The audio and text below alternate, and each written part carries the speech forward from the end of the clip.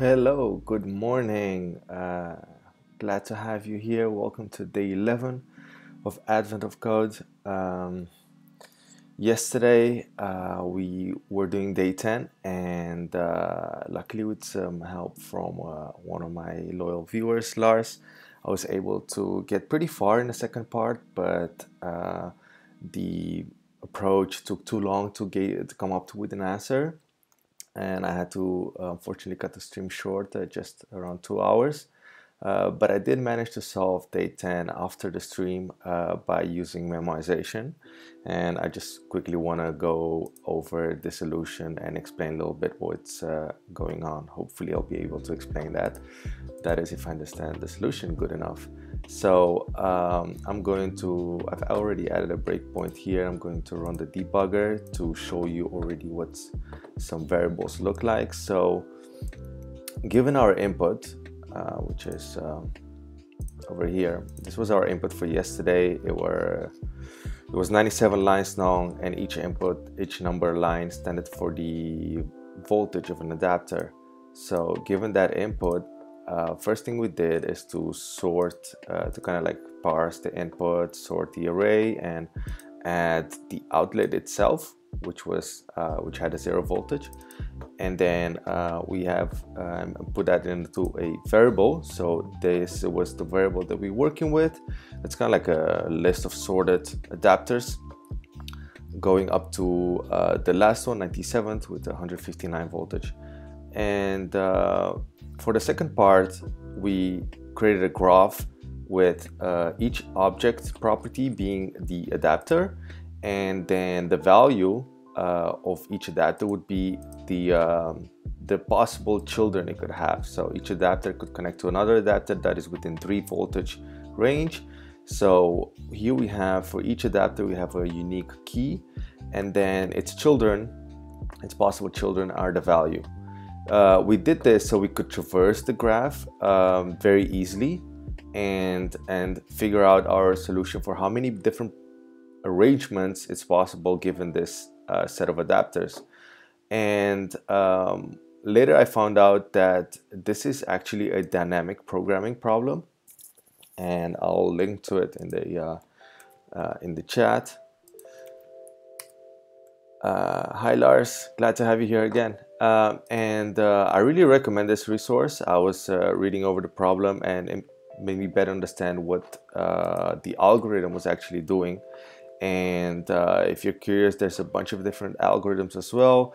In different day of Advent of Code, we did backtracking that came up. So I'll definitely keep an eye on on this uh, resource because I'm sure we're gonna have to use more algorithm algorithms as the, the day passes by.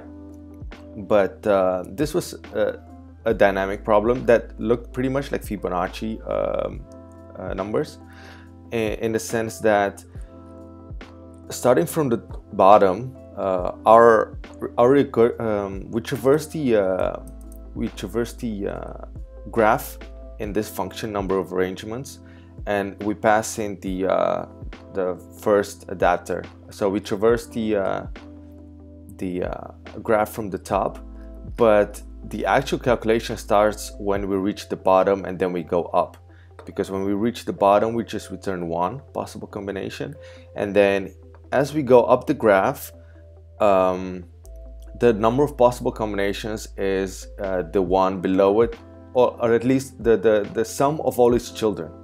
So if you go to 158 it only has one child so it's uh, equal to 1 and then 157 is the equal of arrangements for 158 plus 159 which is 1 plus 1 is 2 and then for 156 it's uh, 2 plus 1 plus 1 so that's 4 and so on.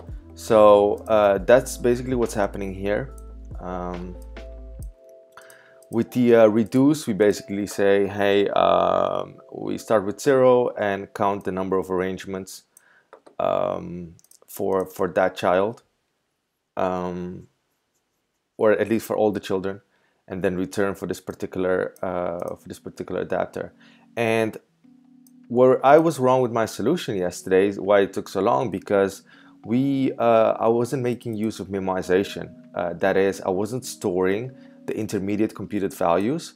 And for example, uh, what happens now is that as soon as we find um, the number of arrangements for each adapter, we store that in a kind of like an object uh, for later because we will have to reuse it uh, many different times as we go up. We'll like, for example, here if we, we're at 156, we need to know how many arrangements is possible for the three adapters that are higher than 156 and instead of computing the combinations and again and again and again for each of those adapters I already saved the answer so I can just uh, fetch the answer much quicker uh, and that saves a lot of computational resources that the program needs to use and yesterday I was running the program for like 18 minutes and I only got to about 25 billion um, permutation and the answer was along the lines of three and a half trillion so it would have taken me more than an hour for the program to reach an answer. And with this uh, optimization, it was instant. So I can show you here. Um, the answer for yesterday's part was um, day 10 index was this big number over here, uh, which is kind of what three, yeah, three trillion something. So um, yeah, that was my solution for yesterday. Um, uh, I wanted to quickly recap it. Um, it took me, uh, yeah, it took me a while to figure out, uh, but eventually we were on the right track in like creating the graph and traversing the graph. That was um, the good approach. We just had to introduce an, an uh, a, perf a, performance optimization here because to, to like speed up the program. And uh, yeah, I thank Lars very much for that, for pointing me kind of like in the right direction. I also found this uh, useful resource uh, which explains uh, the actual problem that we solved yesterday, but in a, with a different example, like climbing the staircase and how many different possibilities you can climb a staircase as the staircase grows bigger, bigger, and as the number of steps you can take differs. So like you can take one or two steps, or you can take one, two, or three steps, and how many different combinations you can climb that staircase. Um, it's, it's really interesting and like it goes down to explaining what a programmatic approach you can take to solve it and why what we did yesterday with the recursive is um, is uh, has a big O of uh, I think n squared was it um, it was O no it was O n not sure if it says here, but it was uh, it was very inefficient because it was exponential in time complexity, and you can reduce that by uh, with the dynamic uh, programming. Um, and uh, yeah, I'm gonna link this to the chat as well. So uh, if you want to have a read, Lars says, "I'm happy that the graph was not a total waste of time." No, it wasn't. No, it was really useful. I had to use that. Uh, yeah, it was part of the solution for the second part.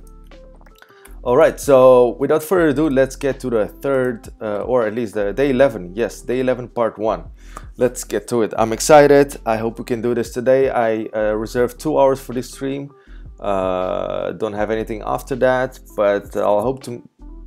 Hopefully, we're gonna be uh, coming up to a solution within two hours or two and a half or so. Just aiming for that uh, amount. All right, day 11, seating system. Your plane lands with plenty of time to spare. So we were in airplane last yesterday, still in airplane. We're about to land now. Uh, I'm not sure if we're reaching our destination or we're just uh, doing another transfer. Your plane lands with a plenty of time to spare. The final leg of your journey is a ferry that goes directly to the tropical island. Oh yeah, we need to take a ferry, where you can finally start your vacation. Um, as you reach the waiting area to board the ferry, you realize you're so early nobody else has arrived yet not not not what I do in life. I'm always late. By modeling the process people used to choose or abandon their seat in a waiting area, you're pretty sure you can predict the best place to sit. You make a quick map of the seat layout, your puzzle input. So our puzzle input for today is going to be the seat layout of the waiting room. Uh, the seat layout fits neatly in a grid. Each position is either floor, marked by a dot, an empty seat marked by an with an L or an occupied seat marked by a hashtag. For example, the initial seat layout might look like this. So we have a few seats and empty, just like empty, yeah, and no seats, and they're all empty. Uh, okay, now you just need to model the people who will be arriving shortly. Fortunately, people are entirely predictable. That's true. and always follow a simple set of rules. All decisions, well, not entirely true, All decisions are based on the number of occupied seats adjacent to a given seat. One of the eight positions immediately up, down, left, right, or diagonal from the seat. Uh, so if we have this seat, then we have kind of like three seats up, three seats down, and two on each side. Or and diagonal, four diagonals, one up, one down, one left, one right. So that's eight seats, yeah. Uh, the following rules are applied to every seat simultaneously. If a seat is empty, L, and there are no occupied seats adjacent to it, the seat becomes occupied. Alright, if a seat is occupied, hashtag, and four or more seats adjacent to it are also occupied, the seat becomes empty.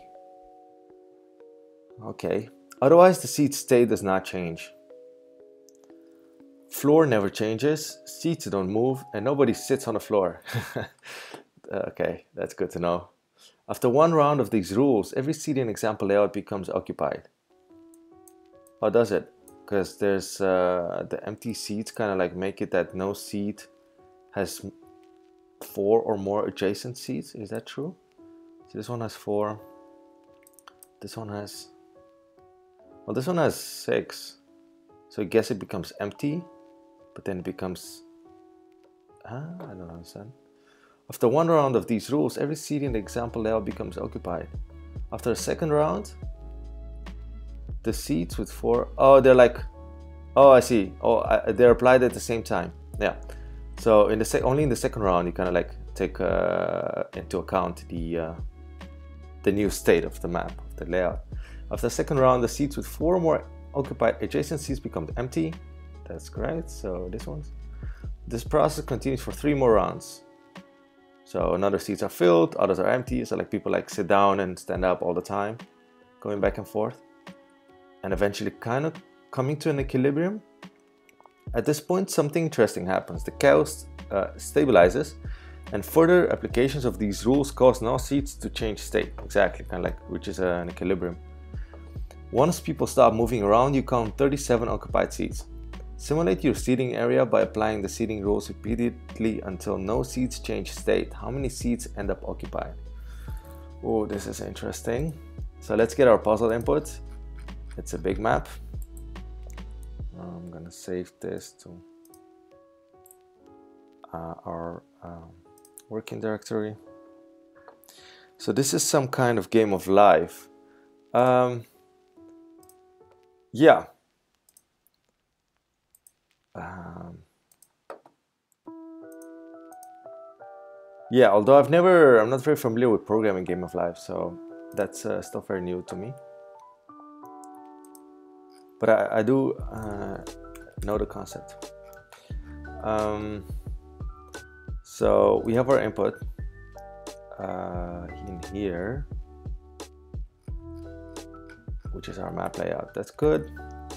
Uh, we already have some setup code for the, uh, for reading the input. So let's see. Um,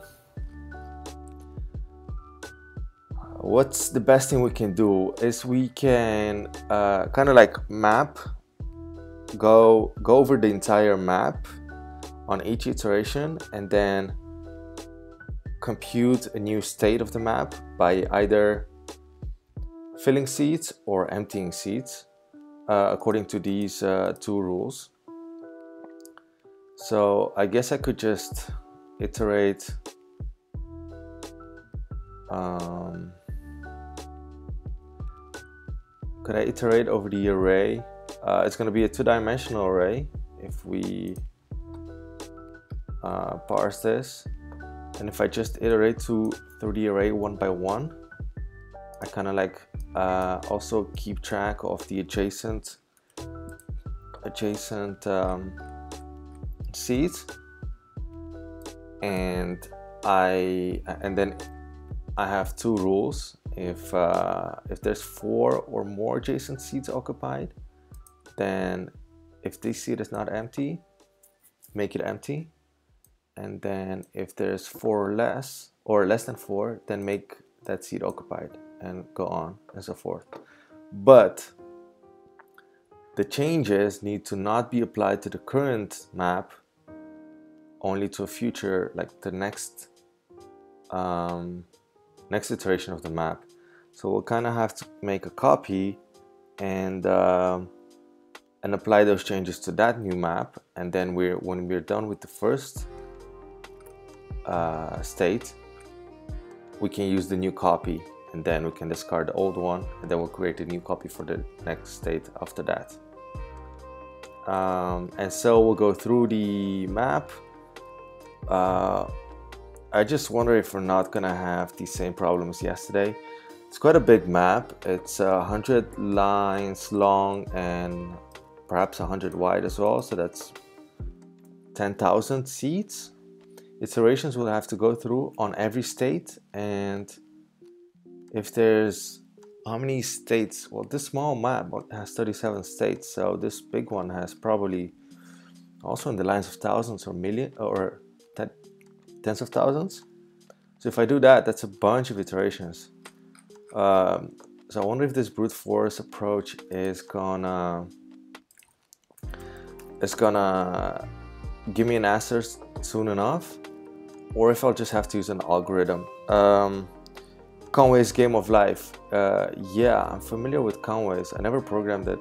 So I wonder if uh, peeking at the algorithms here, um, we could use perhaps use something that's cleverer. Um, Conway Game of Life. I'm just gonna quickly peek at the uh, at the Wikipedia page for Conway's Game of Life and uh, also not, simply known as live cellular automated device uh-huh. Uh, zero player game okay. Uh, so what is it about? Uh, rules um, yeah so the game has a bunch of rules. So like our puzzle we have two rules. And then kind of like expands.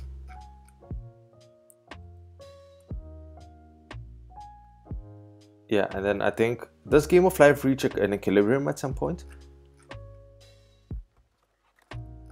Where it goes on and on forever. Uh, and then on undecidability iteration algorithms. So here what we're interested in in algorithms um, mm -mm -mm. Here to talk about a for loop, counting the live neighbors of each cell and decide to whether corresponding element of success array should be 0 1. For next iteration, the array swap roles, so the success array in the last iteration becomes the current array. Yeah, so that's our approach. That's like what I was talking about earlier about the solution that I came up with. But uh, let's see if uh, they have different algorithms. A, var a variety of minor enhancements to this basic scheme are possible, and there are many ways to save unnecessary computation. A cell that did not change at the last time step and none of whose neighbors changed is guaranteed not to change. That is true. Uh, so program that keeps track which areas are active can save time by not updating inactive zones. Okay, so that's one optimization we could include by kind of like keeping track of active or inactive zones.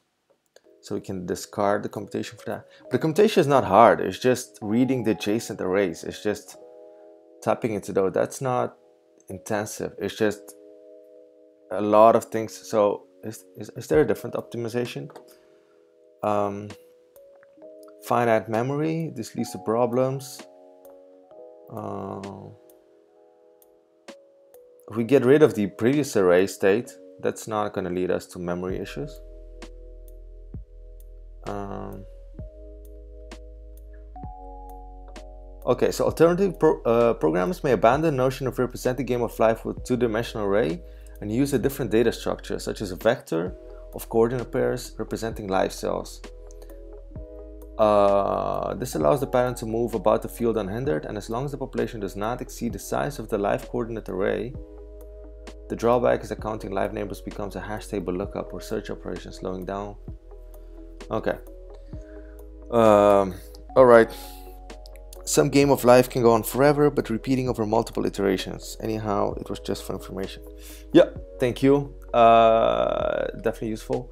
I will um, I will go into the two-dimensional approach because reading the adjacent seats is not uh, is not computationally heavy. It's a, a one.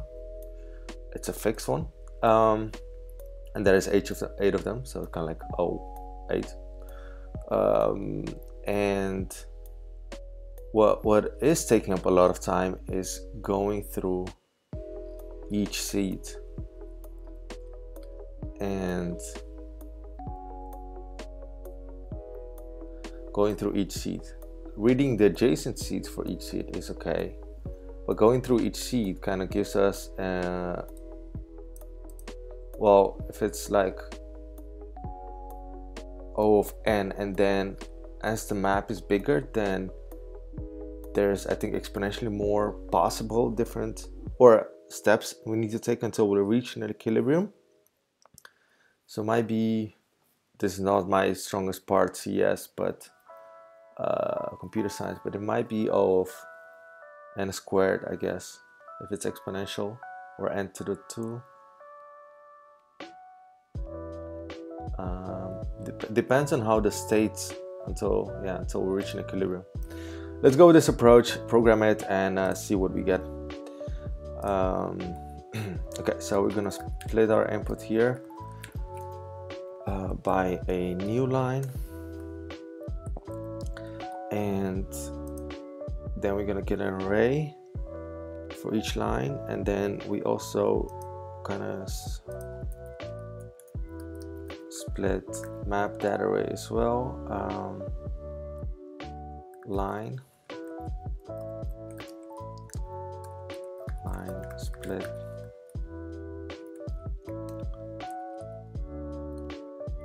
So now we have a, a multi-dimensional array. And as we go through each one uh, we kind of need to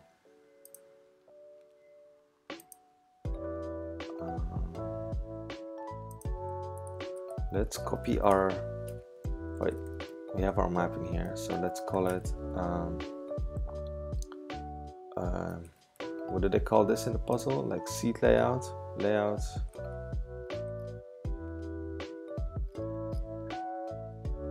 Yeah I think it's like a layout map seed layout seed layout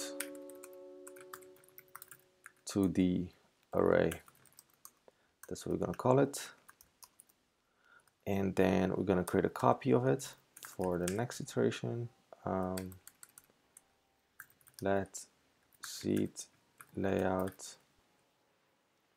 Um, let's just call this uh, layout. Seed layout next state. And that's going to be a copy of seed layout and then we go through each seed uh, let's iterate to each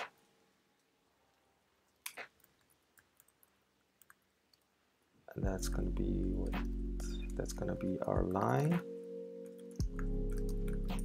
And then we go through each line. That's gonna be our seed our seed and then we need the index for the line and we need the index for the seed as well. Uh, index seed so we can say uh, we can be smarter about this. We can call this a row. Because seeds have a row and a column. So let's uh, call them row. Row and this is gonna be row index and then this is gonna be the column of the seed. Well this is the actual seed isn't it? Yeah it's seed. That's fine. And then uh, here row for each. Okay. So then we have our seed um, row index and seed index or like column index better said column index and um, so first thing we need to do in here is to find the adjacent seeds and then we can have our, uh, our rules. Um, I think what we can do best um, so we're gonna start over here and then we're gonna have only three adjacent seeds so let's uh, what I would like to do is kind of like um, if I can slice the array get rid of everything that's too far and then do that for the next row as well and for the previous row uh, that would be neat. Uh, and then well I guess it's gonna be a bunch of slices. Maybe that's computationally intensive to get each seed every time. Um, yeah. Well we can uh, we can perform we can optimize a bit later if we find the uh, um, if you find that a program is taking too long. So for now um, if we're at uh, row one or at least row yeah row zero uh, and seed zero then we need to grab uh, the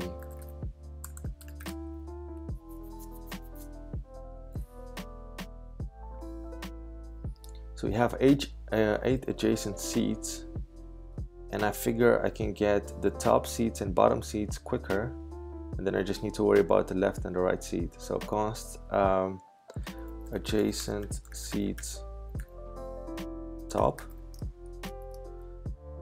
And that's gonna be um, the row. Uh, seed layout. Uh, row index minus 1 and then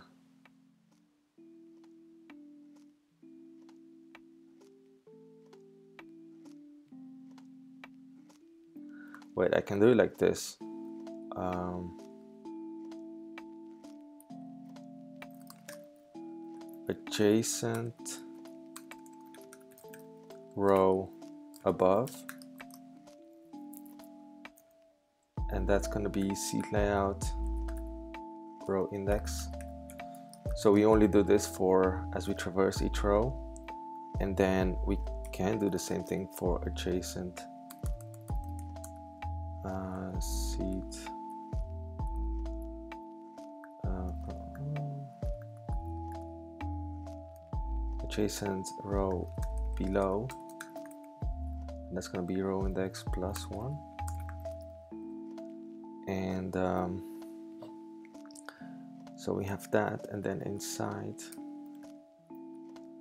here we have uh, adjacent seat left is going to be like our row and then column index one to the left and then one to the right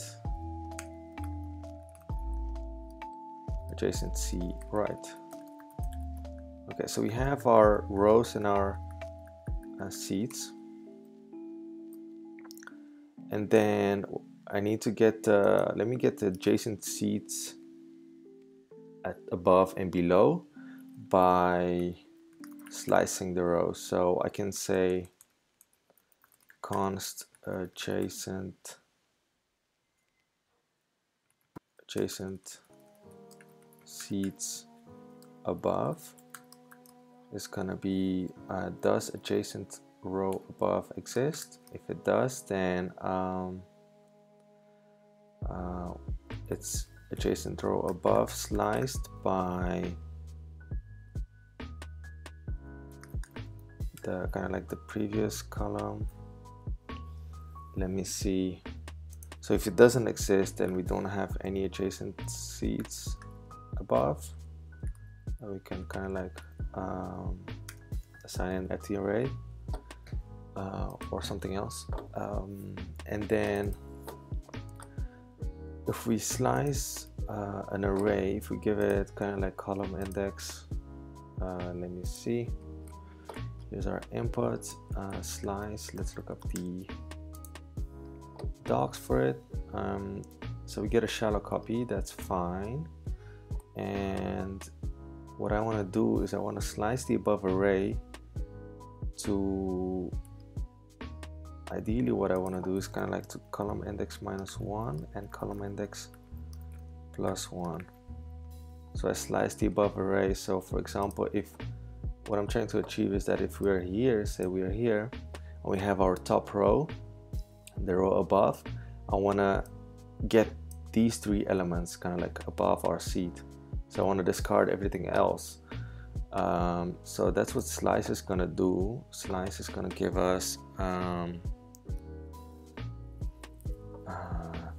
the current element so slice 2 is 0 1 2 so from here so we need to kind of like say minus 1 and then up until including or excluding not included. Okay so 2 4 is gonna grab two elements so uh, what we need is plus 1 plus 2 this needs to be plus 2 so this is gonna give us three elements.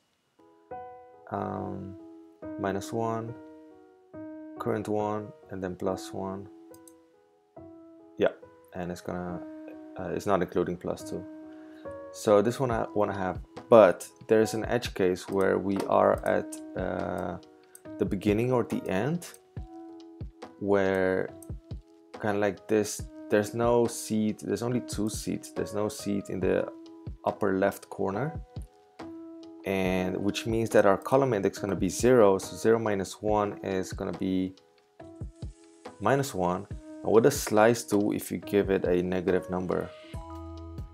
0 based index. A negative index can be used indicating an offset from the end of the sequence. So we don't want that um, this needs to always be positive at least 0 or positive. Uh, so I think we can use math. Uh, can we use math to kind of like any number that's negative uh, make it zero? Uh, we can like ceil floor? No I mean I think absolute is kind of like something what we can do uh, but the minus one becomes um,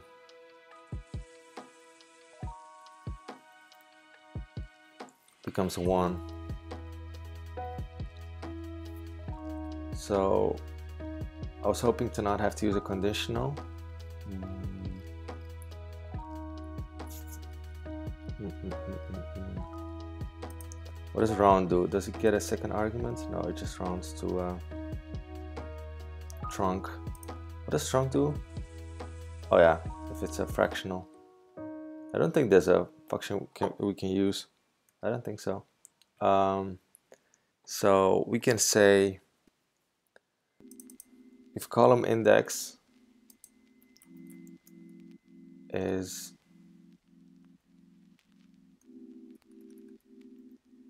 maybe we can assign this to different variables uh, const um, upper or like lower bound above. And then we can say column index uh, is because it's never going to be yeah so it's always going to be if column column index is zero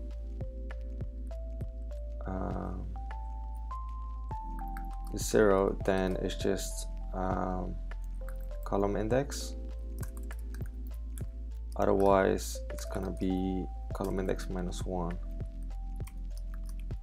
so how can we uh, write this shorter? If there's no column index then column index. Otherwise column index minus 1 you can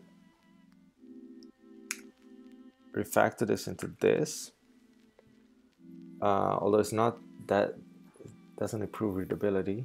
Um, and then but then this can be refactored into um, into a uh, yeah I'm just gonna stick to this it's uh, let's not get too clever here and then we do the same thing for upper bound.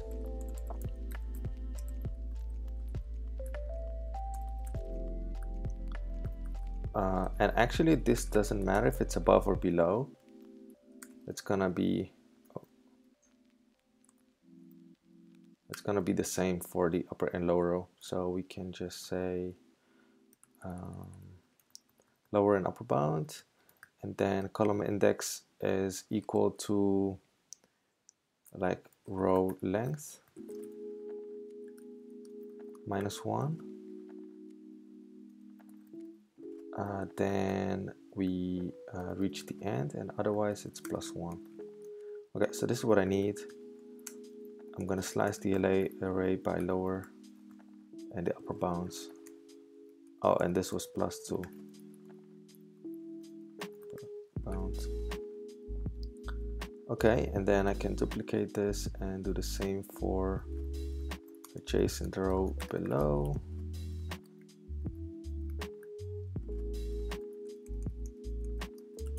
Adjacent seats below adjacent row below. Okay this should get us what we want. So now that we have the adjacent seats what I want to do is um, the rule is that can go in and implement the rules. So the first rule says that if the seat is empty and there are no occupied seats adjacent to it, it becomes occupied. If the seat is occupied and four or more seats adjacent to it are also occupied. Otherwise, the seat just stays the same. So um, I kind of like need to count how many adjacent seats are occupied. So what I can do is since I have an array here, another array here, and then uh, two adjacent seats. Um, wait, this also needs to count for the fact that we might be on the edge here. So that's uh, something I just spotted. Um, adjacent seat left. If we are at zero, there's no adjacent seat left. So then can be an empty string. And then the same thing for here. We could we could put this in uh, if else conditionals to kind of like not repeat the logic. But I'm gonna leave it like this for now. Um, so what I want to do is I want to kind of like get a string um, of all the seats. So then I can just count uh, the occupied seats. So how many hashtags occurs in a string. Uh, uh, uh, so that's what I want to do because, or what's what's to be easier, uh, having a string of having like an uh, an array.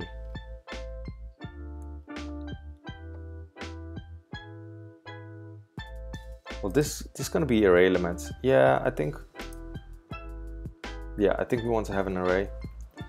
Uh, uh, uh, so this is going to be either an empty array or an array with individual seats as elements, individual like yeah characters. So that's good. Then we just need to concatenate this array to this array, and then we're going to end up with either an empty string or the, arrays and I can concatenate that to that as well. So let's just say const adjacent seats and we'll put them all together. Um, we'll put them all together by saying doesn't really matter how I sort them so I just say um, let me see what's like yeah, I can do adjacent seats above. I'll need to spread this array. Above, and then we go uh, adjacent seat left, we'll kind of like go uh, from top to bottom. So that it makes sense. Uh, adjacent seat right and then we spread adjacent seats uh, below. Uh, adjacent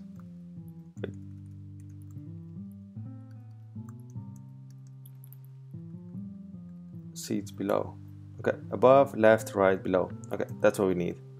So now we can say if current seat if seat is equal to empty and um,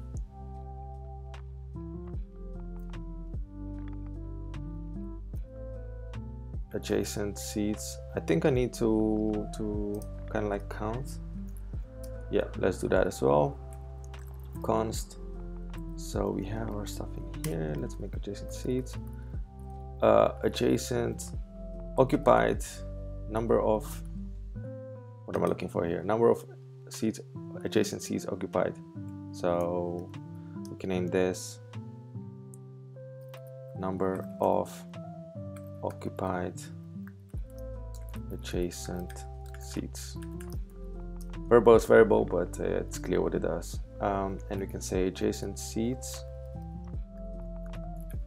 Filter seat. Seat uh, equals hashtag. And then we can do the length of the array. So now we have number of occupied seats. And we can use that here. If number of occupied seats is less than four then we need to was it less than four seat, seat? And there are no occupied seats. Oh wait no occupied seats. If number occupied adjacent seats is equal to zero. Then uh, we do that. And otherwise else if if the current seat is occupied so if seat equals to hashtag there and uh, four or more uh, seats adjacent to it, uh, then it becomes empty. So then we need to change the state of this seat as well. So number of occupied seats is um, equal than or uh, bigger than or equal than four and four. Then we'd need to do something as well. Otherwise, um, we do nothing, meaning we don't change the state of the new array. So we can do this like this. Okay. So here's our uh, seat layout next state and we need to modify that one. So we need to say seed layout next state row index column index which is where our current seed is. This seed is at row index and column index. Uh, then we change that into an occupied seat and otherwise this needs to be an empty seat. So that's kind of like how we're going through each row and, and column and in, in each seat to modify the, the new state of our map. And as soon as we reach, um, we go through all the rows and then we go to all the, uh, yeah, we go through all seats on each row and then we go through all the rows and then we reach the end of the map and then we made our new seat layout. So then we have one state. Uh, so we need to like wrap this in another loop that says while state the previous state did not uh, while previous state is different than from current state we need to continue because we haven't reached an equilibrium. So we need to go on and on until until we make no permutations. Uh, what we can also do going to be a, bit, little bit more efficient if we have a variable that just tracks a boolean that tracks did we make any changes in this round or not? So um, did layout change. It's going to be our boolean. We set it to false. Um,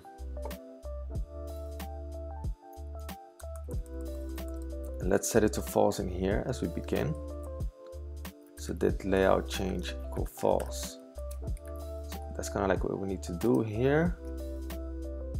And then as soon as we make a change either in here or in here we say we kind of like mark this boolean as true and then we have we have like our flag that says hey in this round we did change a, a seed layout. Therefore uh, like we did not reach equilibrium. So we can do that in here. So we can do a while. Did layout um, well uh, well I can guess I guess I can set it to false here.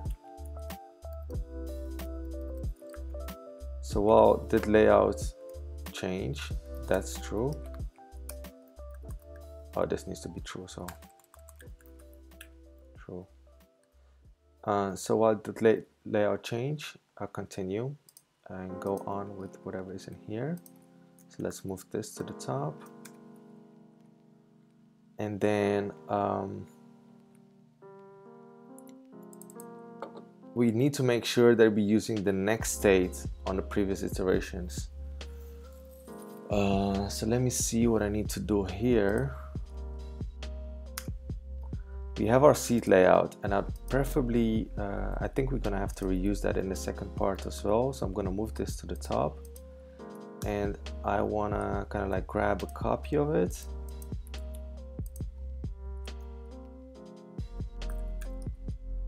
and I want to say current seat layout. And I want to actually rename this to next seat layout. Yeah that's uh, better. Which is just a copy. Uh, this is gonna be a copy as well. Seat layout. So here we're working with current seat layout and it kind of goes through it. Uh, wait we're yeah let's use uh, let's use current seat layout everywhere. Let me make sure we're not reusing this. Only here. IntelliSense is so smart. If I can like um, select a, a, variable it's gonna highlight where it's being used and also in the diff in the diff here. So I can see okay we're not using anywhere else. So that's good uh, and then this one we use it over here which is fine. And then next seat layout. Oh yeah so we need to use next seat layout in here. Uh, um, that's good. And then kind of like at the end of the loop we need to swap the layout. So we can say current seat layout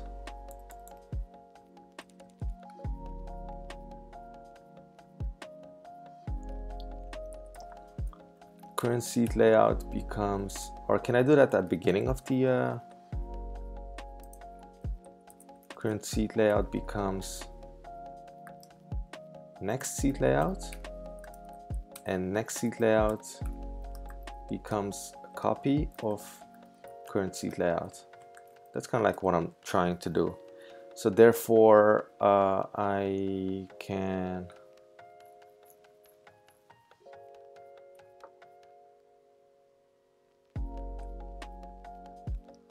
I need to keep track of these variables outside of the while loop.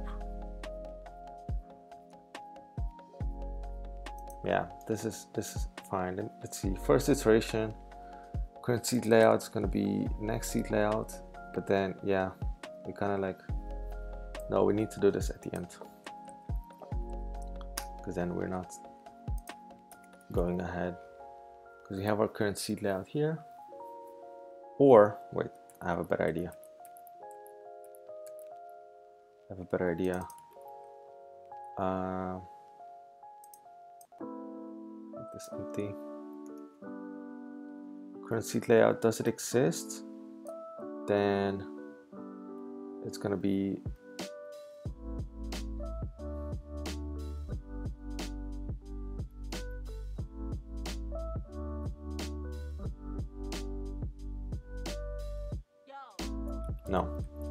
just making myself more complicated by uh, doing this. I'm just gonna put this at the bottom. Okay, so this makes a bit more sense. We start with um, fresh copies of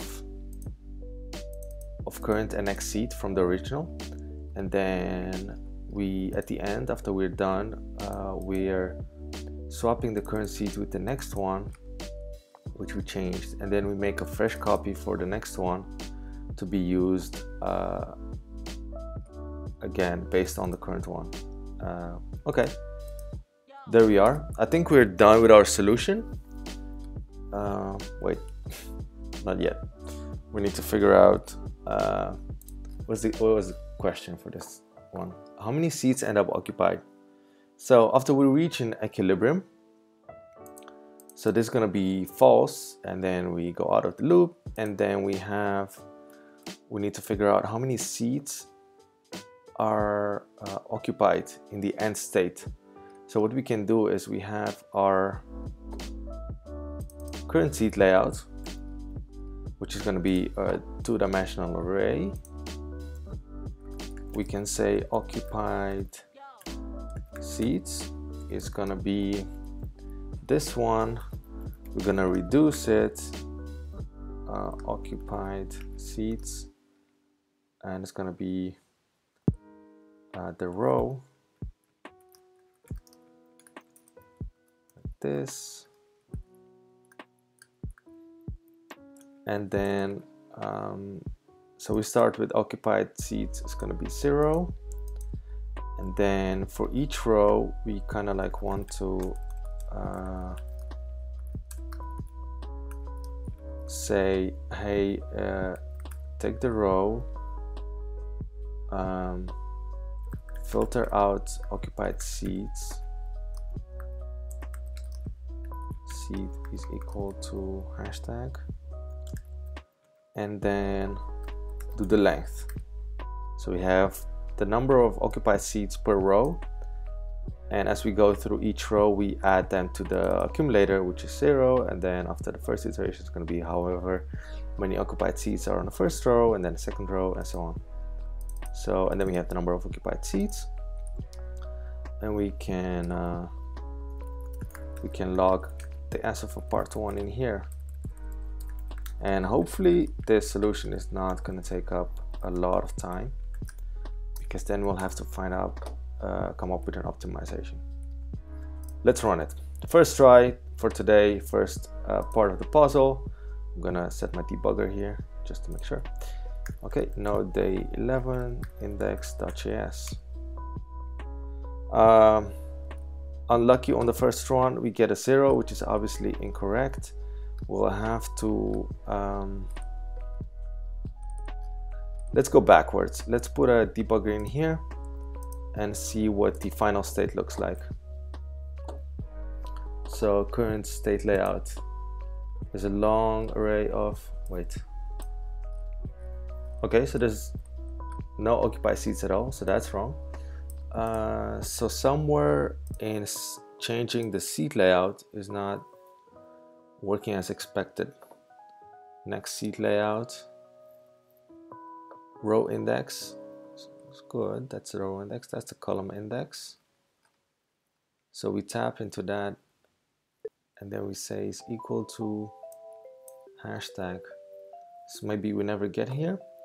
Let's put a conditional in here and just a, a breakpoint and then see if we get into that conditional at all. No we don't. So probably the conditional is wrong. Number of occupied adjacent seats equals zero so is this correct adjacent seats filter seat seat equals hashtag dot length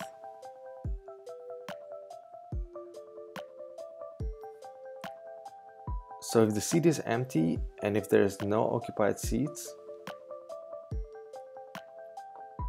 is that the rule?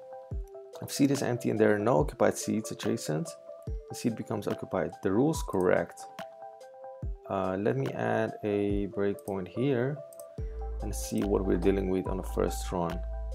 So we have um, number of occupied seats zero. that's good because on our first map we don't have any occupied seats. Um, mm-hmm, adjacent seats. Oh, but adjacent seats doesn't look right. What's adjacent seat left? That's undefined. That's correct, but adjacency to right should be uh, should be a different seat. This should be actually an L for the first round. Yeah, because we uh, uh, uh, what seat? Oh wait, so maybe something. So here's our layout. It's not a two-dimensional array. What is it? Oh, it is, yeah. So then each row is uh, that. And then we actually need to split the row as well. Yeah, okay. So let's do that. Um, row split. Mm, actually, we can Can we make turn this into a three-dimensional array? That would be neat. That would be neat. Uh, so it goes through each line and splits. Yeah, no, splits the input by new line. Okay, and then it goes through each line and splits the input by that. And then what I want to do is map through each row. Map each row, and then you have the row in here and then for each row wait something oh I see what's going wrong this is not a new line. This is should be just this. Okay uh, let's run it again. All right that looks right. Uh, adjacent seats. Yep. That's exactly what we need. Adjacent seat uh, uh, uh, adjacent seats above is undefined. And then oh wait a second adjacent seat left adjacent seat right is empty. Adjacent seat left is undefined. Because column index is zero. If column index is zero then this should be swapped around.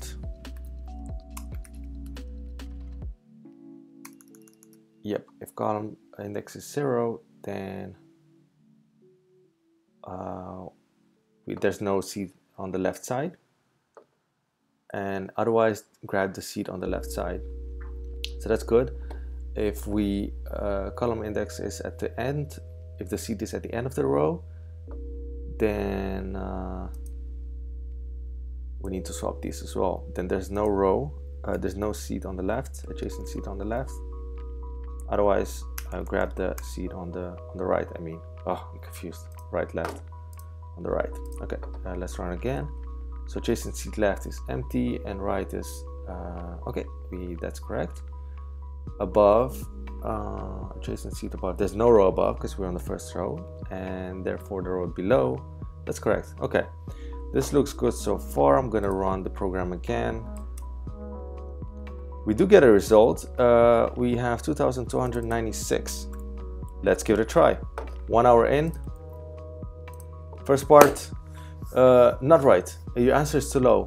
Curiously, it's the right answer. I got that yesterday as well.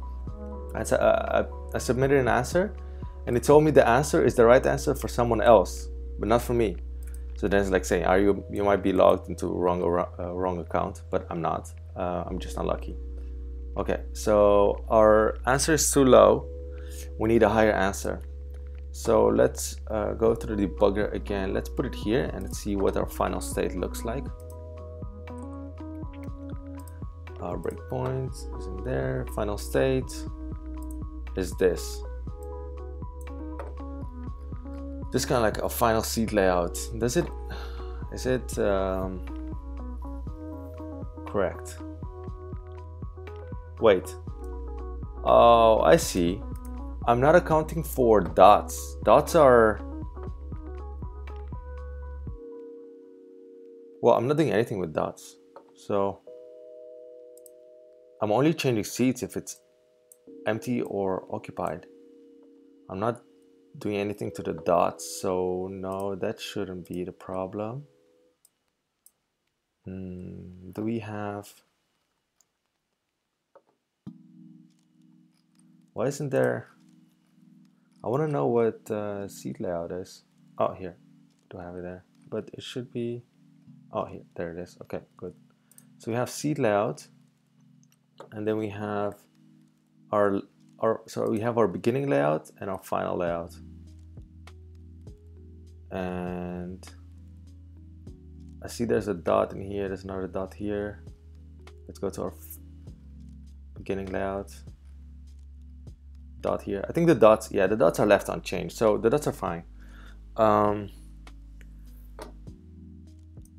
there's a flaw in our logic here somewhere um, what I'm gonna do let's go through a couple of iterations and see and see where uh, where we end up in. Okay so run a debug.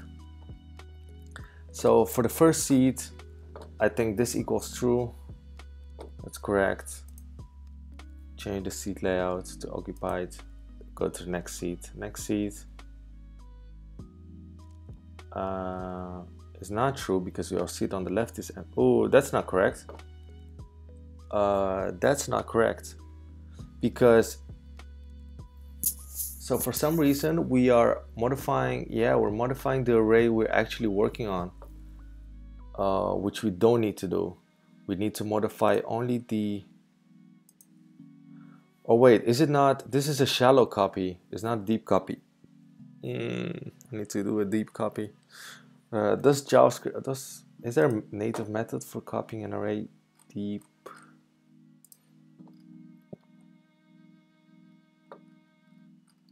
Deep copy or something? No. I know there's a. I know I can. I could uh, import Lodash and use um, use that. Um, but so far I haven't used an external uh, library and I've done everything with native methods and I would like to stick to that. Let's see if I can copy in this array. So what is what's going on is that uh, the rows are copied, but the elements inside the rows are not. Those are references, those are not copies. So if I do seat layout for each, um, no, I need to make copies of those as well. Maybe map. I'm not sure. Map row, return row, kind of like same here. Is this is this gonna be a a cop the copy that we need? Let's uh, let's give it another spin. First iteration, good. Second, looks like it. Yeah, zero. Awesome. That did it. That did the trick. Uh, we copied the uh, nested array as well. Let's run the program again we get a different number. This is higher, so it might just be the correct number. Nope, too high this time. Okay, back to debugging. Uh, uh, uh, um. So first iteration, yeah, that's okay. Second one, make it empty as well. Well, like on the first iteration, all the empty seats are going to be occupied because there's no occupied seats in the beginning to, to start with. So all the seats are going to be occupied. And then let's see, next seat layout. It's kind of like marking. See, as you can see, it's marking. First two seats are marked occupied, and then the third one, the fourth one, the fifth one, the sixth one. As you can see here, yeah, it's marking all the seats occupied just like going all through those all of them as well uh, let's remove these breakpoints and add another breakpoint for the next iteration here. Then we're there. Let's add these breakpoints again.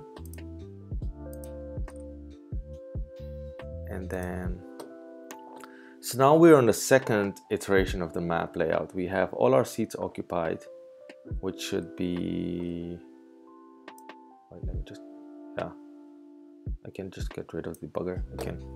Uh, so our current seat layout is, it's all occupied seats.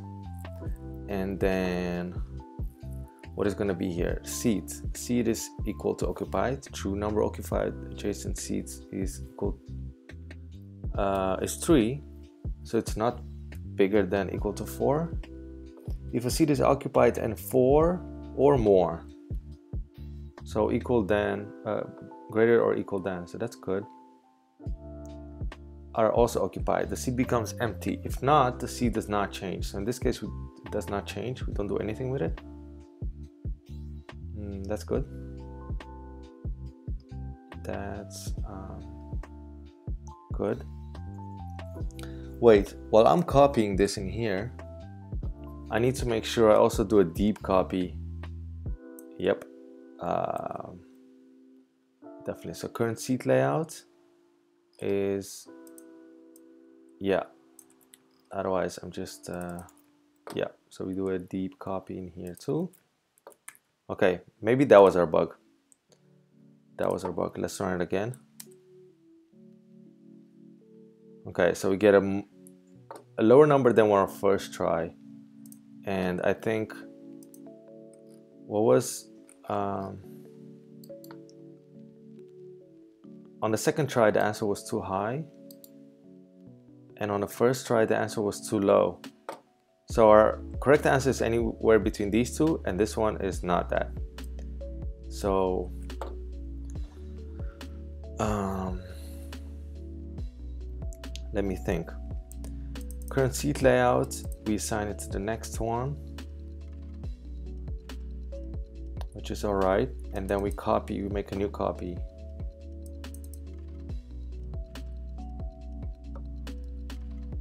I'm pretty sure this is a deep copy. And then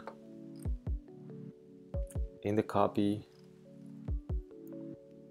we modify the new hmm. If you have any idea chat let me know. Maybe it's a very easy bug that uh, I haven't spotted. Or maybe there's just a flaw in uh, in my thinking. It's always a flaw in the thinking. Humans are not machines. Um, am I counting right? Let, let me make sure I'm counting the seats right here. Occupied seats plus row filter seat. I'm using the current uh, seat layout.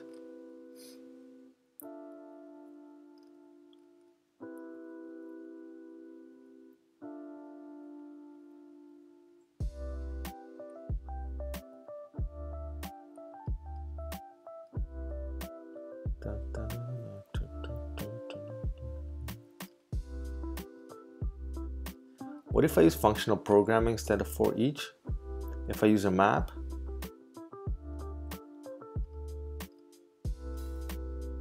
Would that work for next layout?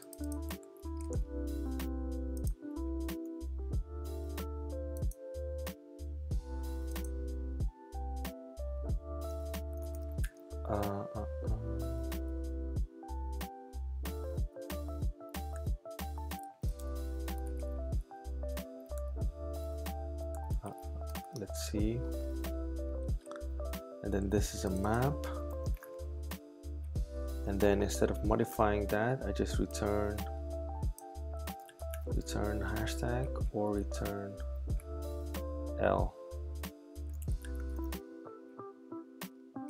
And then this needs to be a map as well. And return. Yeah. And then we need to yeah move this to the top. Gonna still have a flag so then we can get rid of this one and we can say okay current seat is going to be the next seat okay uh, let's see if uh, Oh, it's yeah. Oh, it might have hit the infinite loop. Yeah, it might have hit an infinite loop. Um, next seat layout. We don't use it up here. Oh wait, I know what's going on. Yeah, like this. Let's run again. Nope. Or maybe that's what... Okay, wait. Next seat layout is current seat layout. But...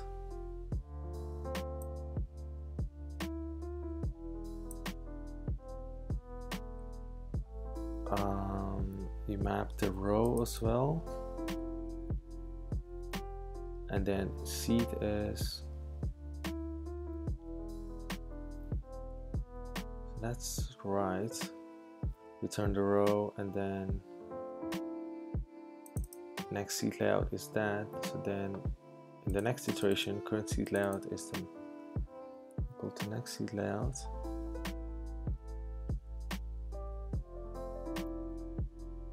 and then oh yeah wait we need to copy well it is it is copies kind of like next seat layout map copies returns a copy, I'm pretty sure.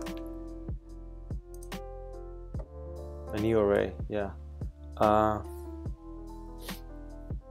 and then the param parameters is current value index. Yeah, so that's good. Um, current seed layout. Something's uh, something's wrong. Let's run our debugger.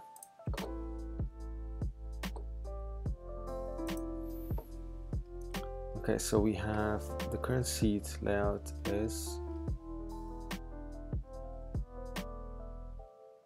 all empty seats, all right. Let's go to the next iteration.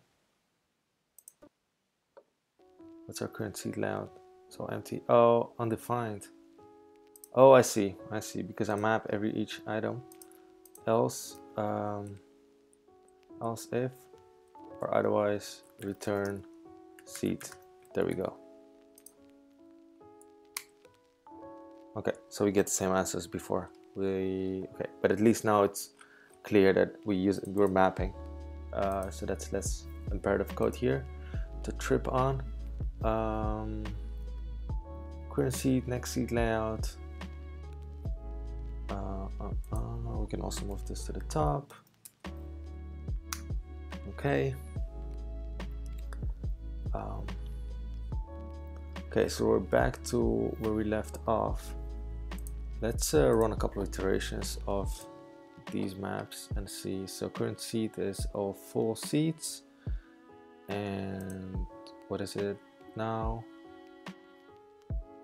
It's all empty it's a bunch of empty seats well that makes sense yeah. And then there's gonna be a bunch of filled seats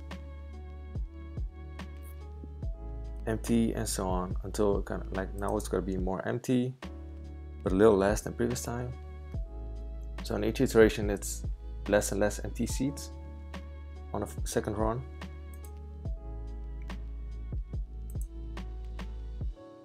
Until we reach an equilibrium I'm wondering if uh, if I'm not modifying the array a second time. No not really. The layout change true we go in there. If we change any of the seats then we say that. Otherwise um,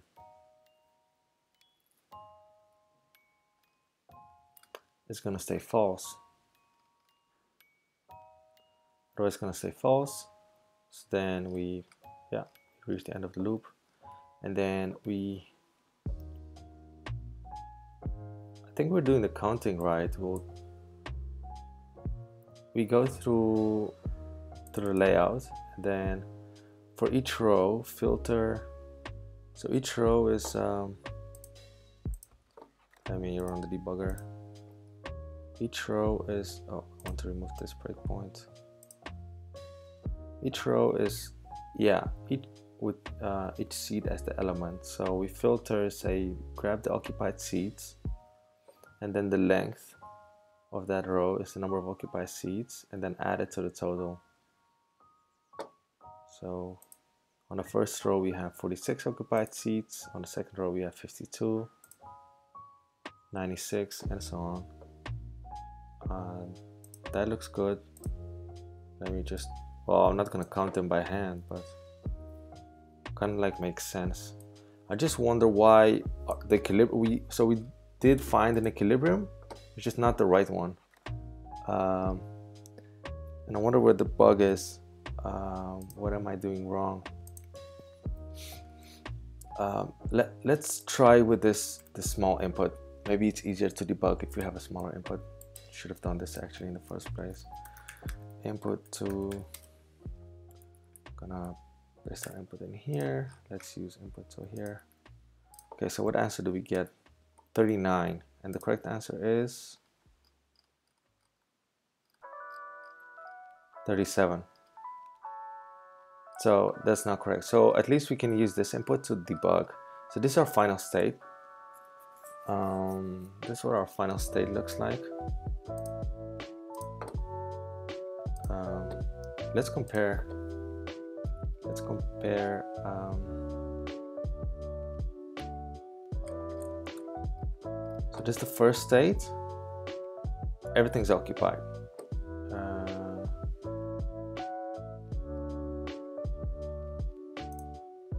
After first run, everything's occupied, which is correct.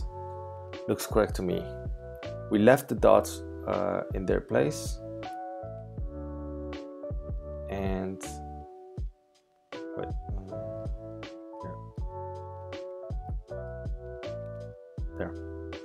Place. Yeah, uh, second row, last one, two dots. Second row, third row, last two dots. Yeah, the dots are in their place and um, we just marked everything as okay let's go to the next round where we have four uh, occupied and three empty four occupied and three empty. Yeah and it's the correct ones. Uh, let's go to a different row and do a check. How about this one? Here this one. So it's one two three four fifth row and then the first one is occupied and the other ones are empty.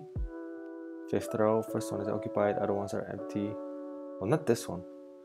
Oh I see I see. So maybe that's where uh, that's where we're doing wrong. So somewhere the lower bound uh, adjacent row above and adjacent row below adjacent seed left and adjacent seed right. So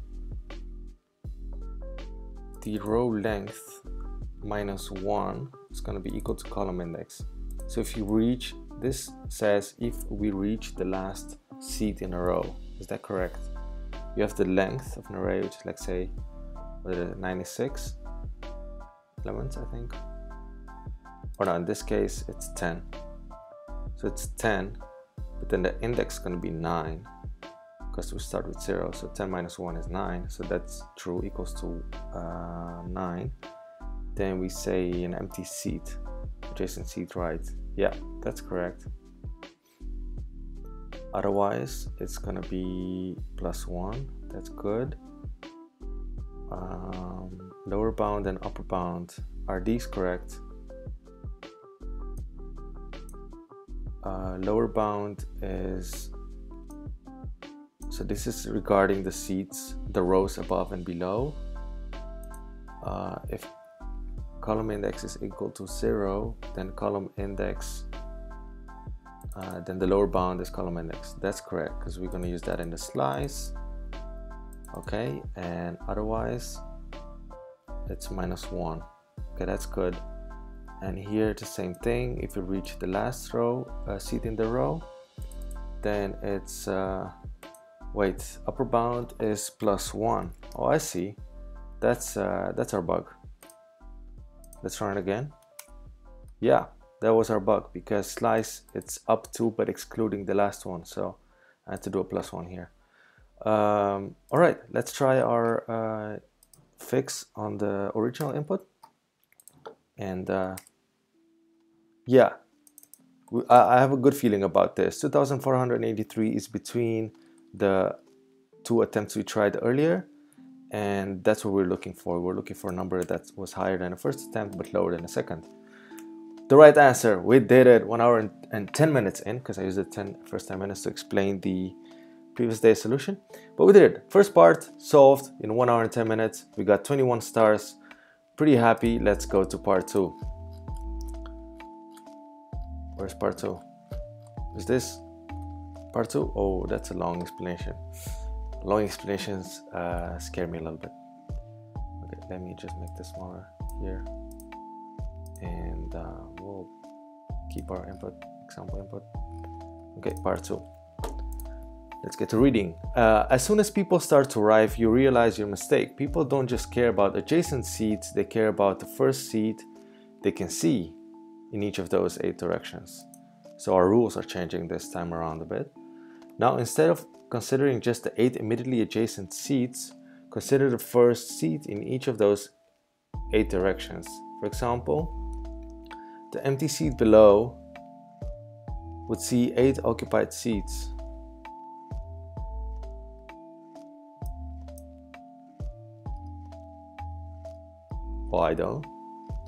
So instead of considering just the eight immediately, immediately adjacent seats, consider the first seat in each of those eight directions. Oh, I see. Um, for example, the empty seat below would see eight occupied seats. First seat in the left direction is this one, first seat in the right direction is this one because these are empty. Okay, I get it, I get it. The leftmost empty seat below would only see one empty seat mm, but cannot see any of the occupied ones.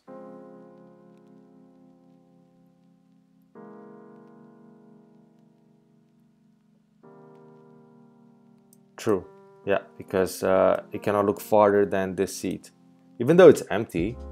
So physically, you'll be able to see uh, that, but in our puzzle, a person cannot look beyond a seat, regardless if it's empty or not. Uh, it, uh, you cannot look beyond that seat. So this seat only sees one empty seat on the right hand side. The empty seat below would see no occupied seats because going to the left there's no seats, going to the right there's no seats, going up there's no seats, going down and going diagonal there's no seats either. Okay, so yeah, this makes our uh, the rules a little bit trickier because this was quite a yeah quite a like simple approach grabbing those seeds but now we'll just have to kind of have a loop for each of those seeds and go in each direction and grab the seed. So that's making our solution uh, much more using this approach much more computationally heavy because not only do we have three loops, three nested loops, for the outer innermost loop, we add eight more loops. No, not eight, because how many directions do we have? Four, five, eight, eight directions. Um, eight more nested loops to find each seed that we need to take into account. Um, and that's adding a lot of uh, computational time. We could try and optimize that by by no we can't. Well because each seed is going to be different. So I'm sure I'm not sure if this approach we can go on with it or that we need to think of something else. Let's uh, finish reading the second part also people seem to be uh, more tolerant than you expected it now takes five or more visible occupied seats for an occupied seat to become empty Okay, so this change is easy, straightforward. Uh, instead of 4, it's 5. Rather than 4 or more. Uh, the other rules still apply. Empty seats that see no occupied seats become occupied, and seats matching no rule don't change. And floor never changes. Okay. Given the same starting layout as above, these new rules cause the seating area to shift around as follows. So given our example input here, the changes are these and then again at this point only people stop shifting around and the seating area reaches equilibrium. Once this occurs you count 26 occupied seats so we're gonna have a different equilibrium because the rules are different. And we need to our answer is going to be uh, given the new visibility method and the rule change for occupied seats becoming empty once equilibrium is reached how many seats end up occupied so we need to adjust our rules um, and uh, figure out how many seats are occupied in that case all right um, mm -mm. I wonder if uh, if I should just try and have this kind of like brute force or naive approach and and uh, figure out the seats for each as we go. Or that um, it's gonna take too much time. Well this, this solution takes a bit of time but it's not longer than a half second. Um,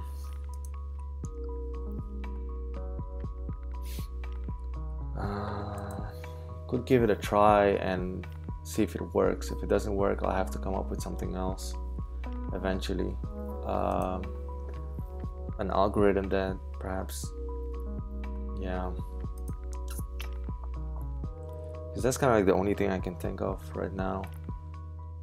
Go through each seed, and then for each seed, kind of like have eight different loops that uh, will not if the above row is missing, but in the worst case, it's going to have eight different directions to go in, uh, into.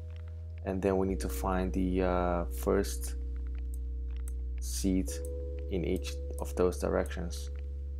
It's to go like this, it's to spread out like a web.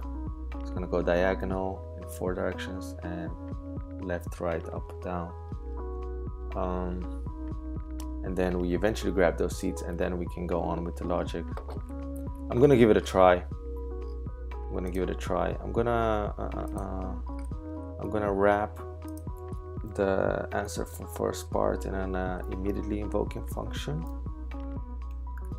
so that we don't get into scope collision in our with our second part because we're going to be reusing some variables and I don't want to give them different names. Uh, let me see, did I add the brackets right? Nope. Yeah, that's correct. Code still runs. Yep. Okay, then uh,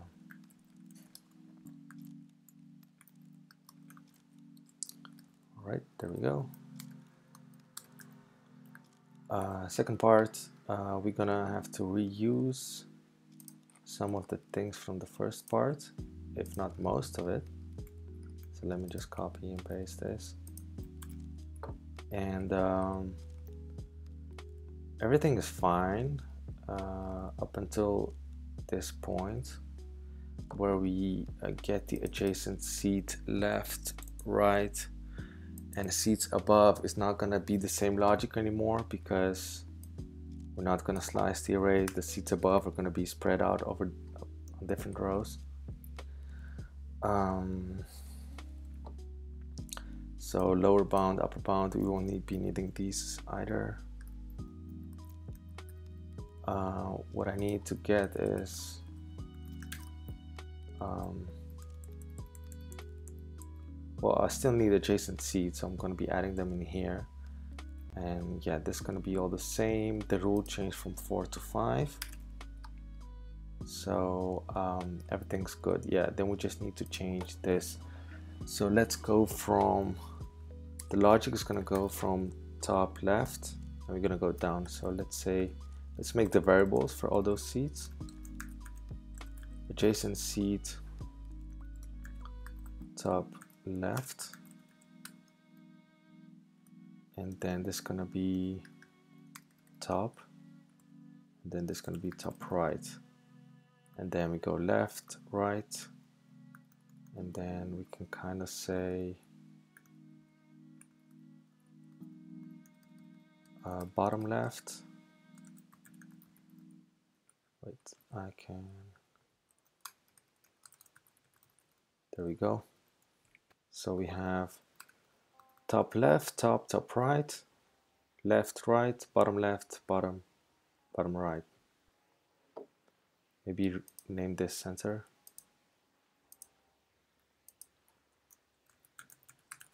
That's kind of easier. Top center, bottom center. Okay. So the rules for the left seat and right seat, no, they don't apply either. I'll need a loop for those as well. But uh, it's the same function I could reuse, I think. So let me instantiate this in the outer scope here. Get adjacent seat. And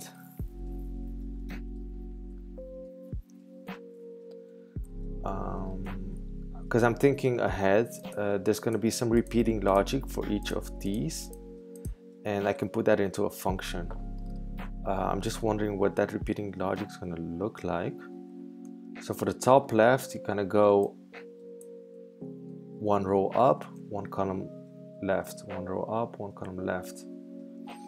Mm, mm, mm, Let me just write the code. I'm going to write the code for each seat and I'm going to see a pattern emerge where there's uh, repetition and then I'm going to extract it into that function. So to get the adjacent seat top left, um, we need to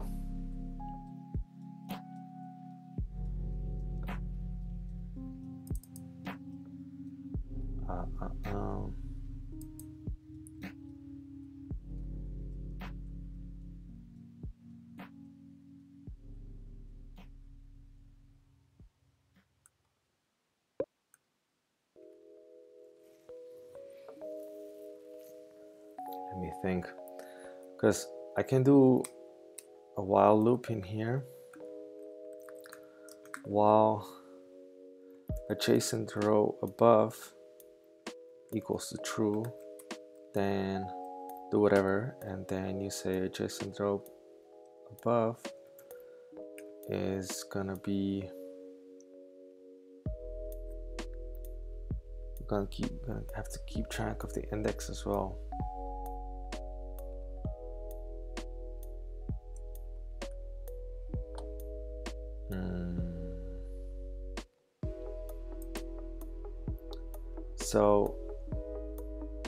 we need a column and then we need a we need like a coordinate. So we need a row number a row index and a column index.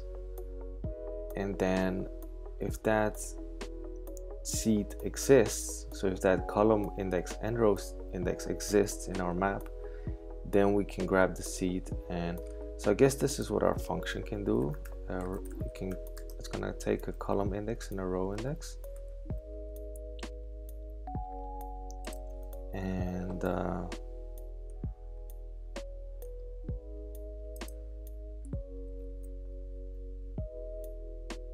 it's gonna take our current seed layout as well. Yeah let's pass the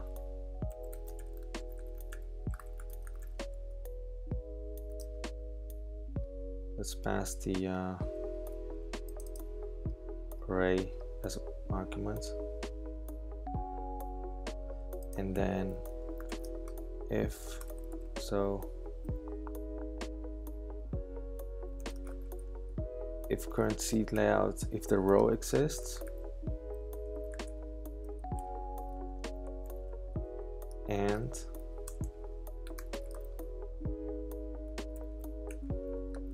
the column exists in that row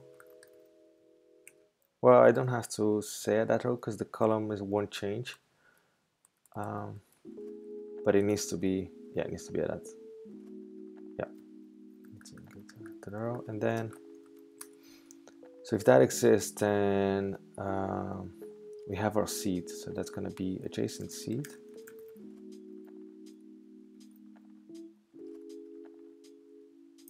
I guess I could just do that. Const adjacent seed that and that. Uh, otherwise, it's going to be undefined. So if adjacent seat, exists and adjacent seat is not um, like an empty so it's a seat so maybe I should call this adjacent uh, object adjacent. Um, adjacent position. Just call it adjacent position. Rename position. Because we don't know if it's at seeds or not. Adjacent position. Uh, if adjacent position exists and it's not an empty uh, space then it, we know it's a seed and then we can return the adjacent seat uh, or yeah the position. But I could also just return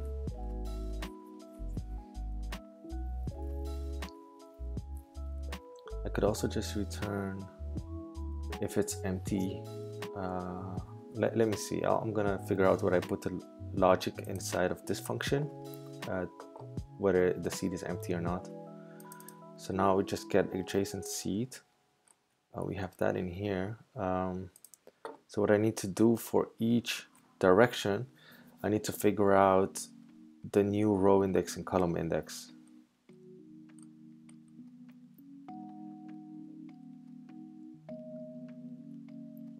I think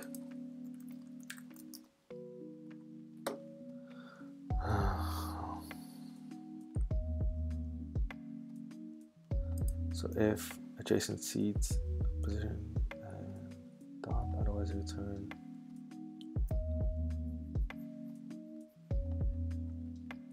uh, uh, uh, let me think. So as we go top left, we need to subtract the row index and column index by one on each iteration.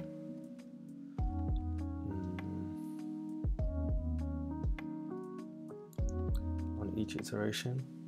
So let's get rid of this. Um, and then we need to stop when we reached out of bounds. So either the row index does not exist or the column index does not exist in that current map. So well we know that if it's zero so yeah we can say well row index um, is bigger than zero.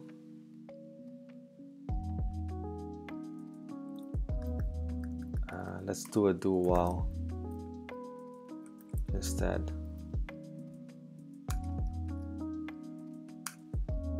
Then in here we can say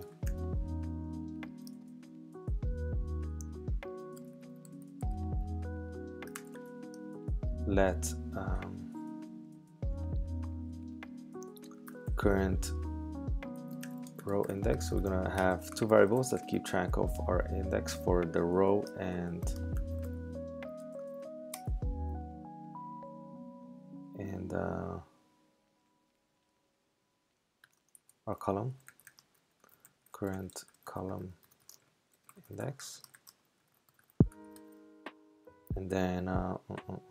see.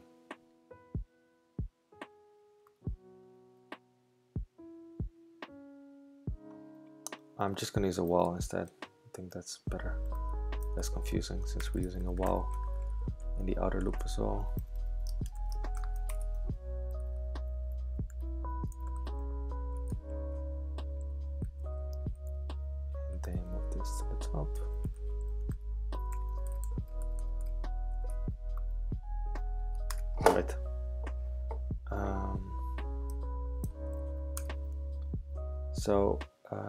can say we can do something in here that says um, actually we can copy this.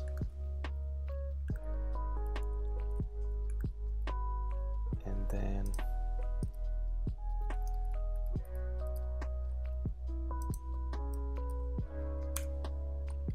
there we go. We can do a minus one first iteration we're gonna go one row up one column left and then while current row index um, is bigger than zero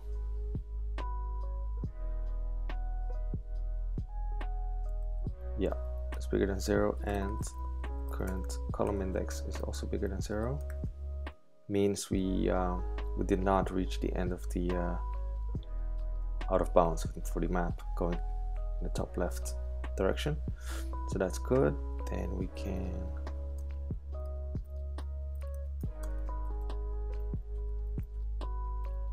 change these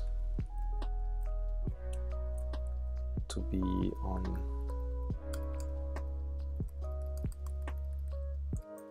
minus minus. Okay so now in here we're going to have our code that uh, calls this function. And you can say get adjacent seat const seat uh, well we can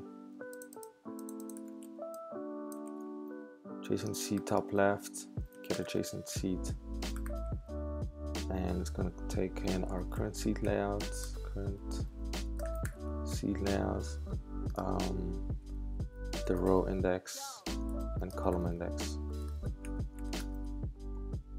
Okay but however we also want to stop when we um,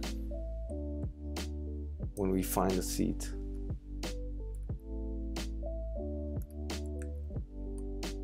Um, when we find a seat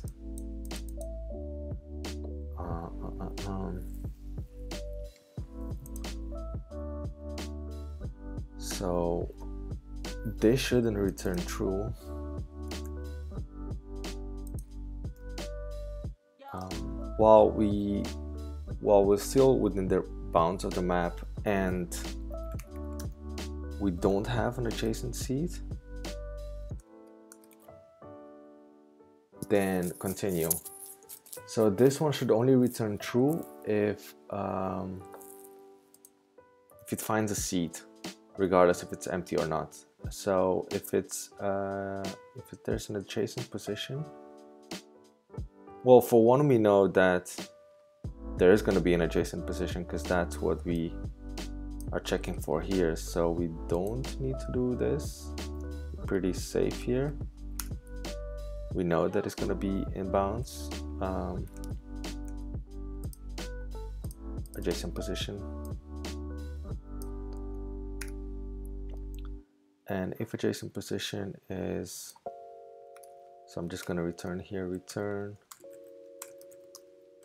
Adjacent position is equal to dot then um, there's no seat there so we need to return false. And otherwise return adjacent position. Yep this is uh, this is what we're looking for. Yeah this this function is not doing that much but we're gonna reuse it. Um, okay so we get our top left seat here if it's correct and then let's do the same thing for the seven other seats.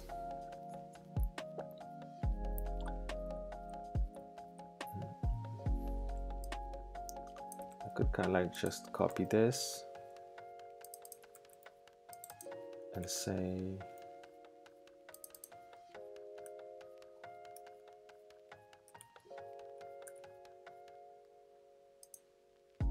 Um, then we're done with this. But then so for the top center seat we need to go upwards. So we are not uh, doing anything with the column just a row um, so the column we can discard and in here as well just a row um, because we're going up in rows and uh, we're gonna have a variable clash here between these. Oh, mm, mm. I'll need to rename this. Current row index. Well this is gonna like change change change change. Uh, and then in here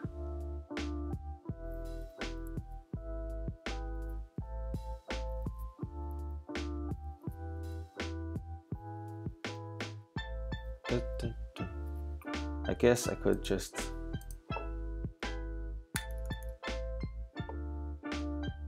reuse the variable.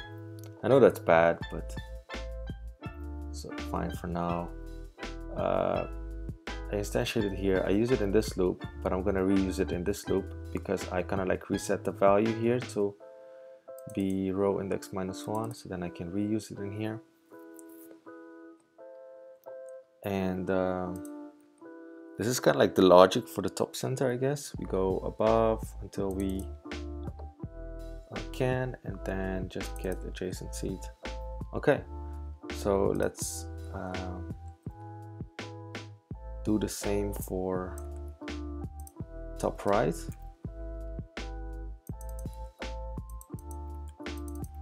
Top right, okay, and then the top right we go in a different way. So we need to subtract the row index, but we add to the column. And then we are afraid of reaching outer bounds on the upside for the column. So current column index is, while current column index is smaller than the, um, the what, the row length minus one. I think that's it. Otherwise we reach outer bounds on the right hand side. Current column index yeah. All right and then we have uh, traversal to the left. Traversal to the left. Just gonna look more like this. Adjacent seat left uh, we're gonna not do anything with the row but the column instead and it's to be minus there.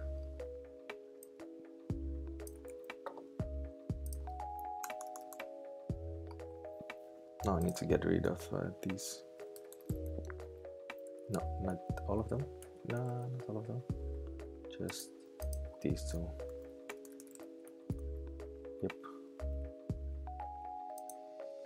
all right um, so adjacent seed left is going to start a column to the left and then we subtract the column by one each time okay? Uh, wait a second. I spotted a bug. I should pass it current row index and current column index. Current row index and column index is not going to change so that's good.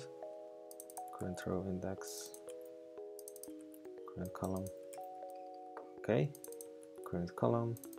Row index not going to change. Okay so we got our left seat in here. Uh, let's get our right seed just going to be kind of like similar but instead of subtracting the row the column we're adding to the column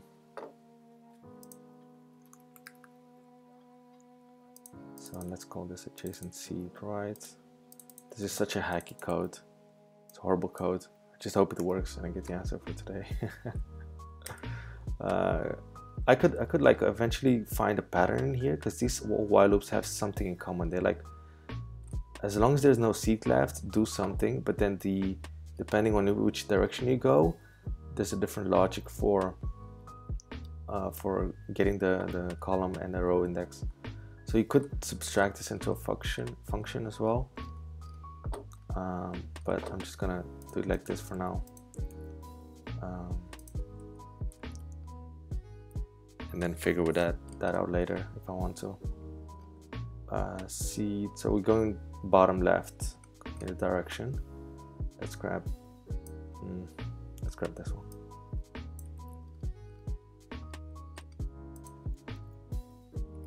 So bottom left. Uh, bottom left goes uh, row plus one, column minus one. And therefore, so the row we add to the row and then we subtract the column. Okay, and that looks good. Okay, so then we're done with that as well. Adjacent seed bottom center. So we're going to the bottom center, which is going to be similar to top center instead, but just the other way around. So instead of subtracting the row, we add the row. Yep.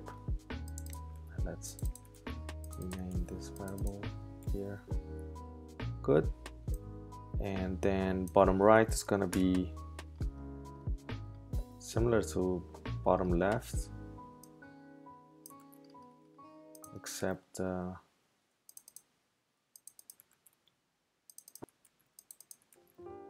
we need to swap uh, these two.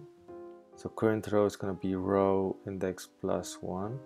That's good. The column the column needs to be plus one instead of minus one. All right.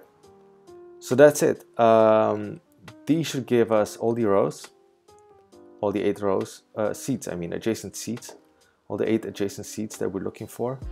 And uh, then what we can do it's kind of like so we have eight variables and we need to get we need to find out how many of them are occupied. Uh, we have eight strings and we need to find out how many of them are hashtags what's the easiest way to do that I could just add them all into an um, into an yeah into an array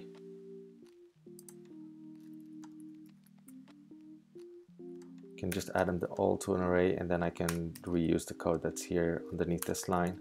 I can filter and then count the length of the array. That's what, uh, oh wait, this needs to be close brackets. So let's, uh, we have, we have different names now. Adjacent C top left, Where's our here? Top left. Uh, uh, uh, uh, this is gonna be top center. This is gonna be top right.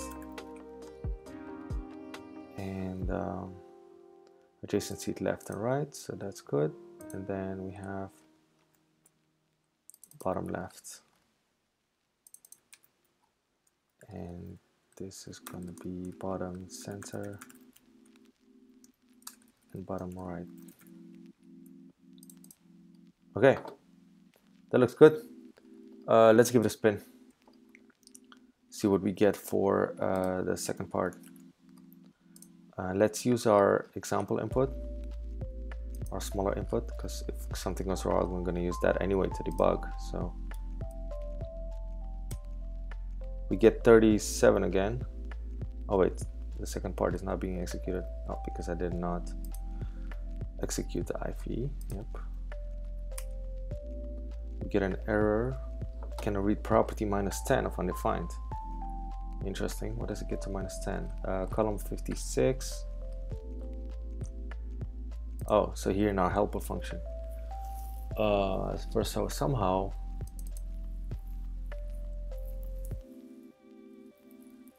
yeah somehow we are not uh... oh I see I see. I forgot to change the conditionals here. So we go in top left here. This, this one's good. We're going to the top center uh, this one is good. We go into the top right. This one is good. Uh, and then we go to the left. So that's that should be column. And this one should be column but then smaller than the length. Minus 1 then we went to the right. Okay. And now we're going bottom left which means uh, the row shouldn't while the row is smaller than uh, current seat layout dot length minus 1 and current column uh, is bigger than 0 yeah uh, bottom center uh, current it's only this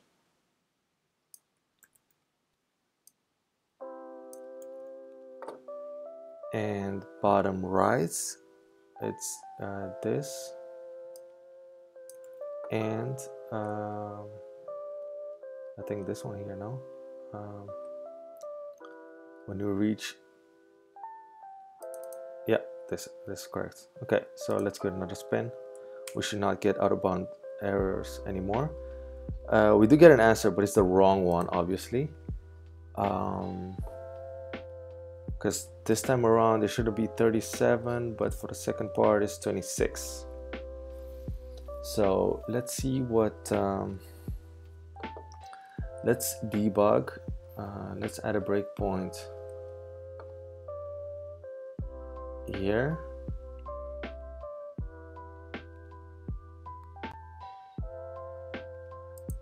And see what these uh, adjacent seats are for the first uh, run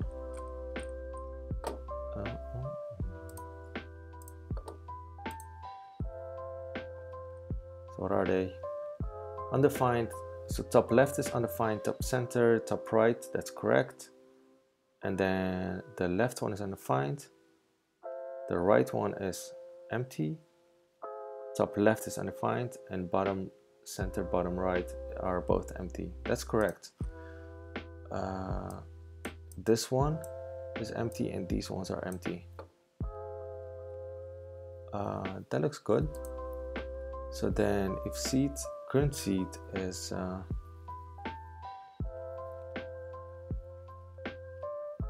you know what I can do as an optimization?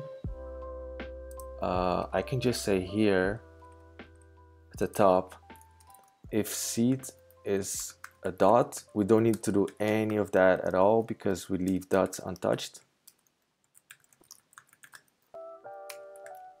So then we save ourselves doing all this computation stuff for um, for for uh, empty grids. So then uh, so then yeah we're here.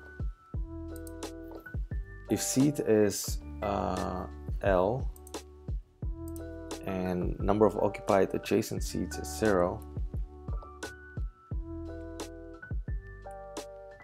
then change the layout and return a different yeah. That sounds right. And if seat is occupied and there's more let me see let me read the new rule again. Also people seem to be more tolerant than you expected. It now takes five or more visible occupied seats for an occupied seat to become empty. Five or more five or more. Yeah. Uh, bigger or equal than five we empty the seat the other rules still apply. Empty seats that see no occupied seats become occupied and seats matching no rule don't change. That's here. And floor never changes. Yeah so that's floor. Uh, floor never changes. Here at the top if it's floor uh, actually this shouldn't be seat but position or whatever. Uh, position is floor then it's on position. Good okay. That looks good. So our adjacent seats uh, let's add these two breakpoints as well. Oh wait let me change. Let me add a breakpoint in here and in here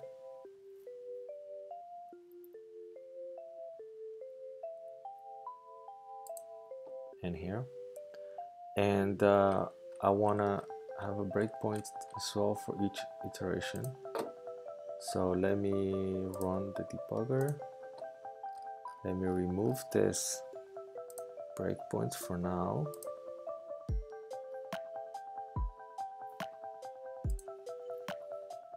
So now we're on our second iteration. Yep all seats are filled. Let's uh, add some breakpoints in here. Okay, so now we reached. Uh, so what are adjacent seats now? They're all occupied. But it's three of them that are occupied.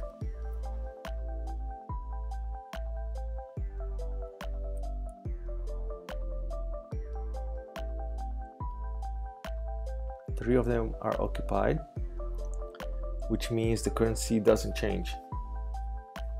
Yeah, only at five or more, then the seat becomes empty. So it doesn't change next seat um, adjacent seat we have four and three is false I guess I could return undefined here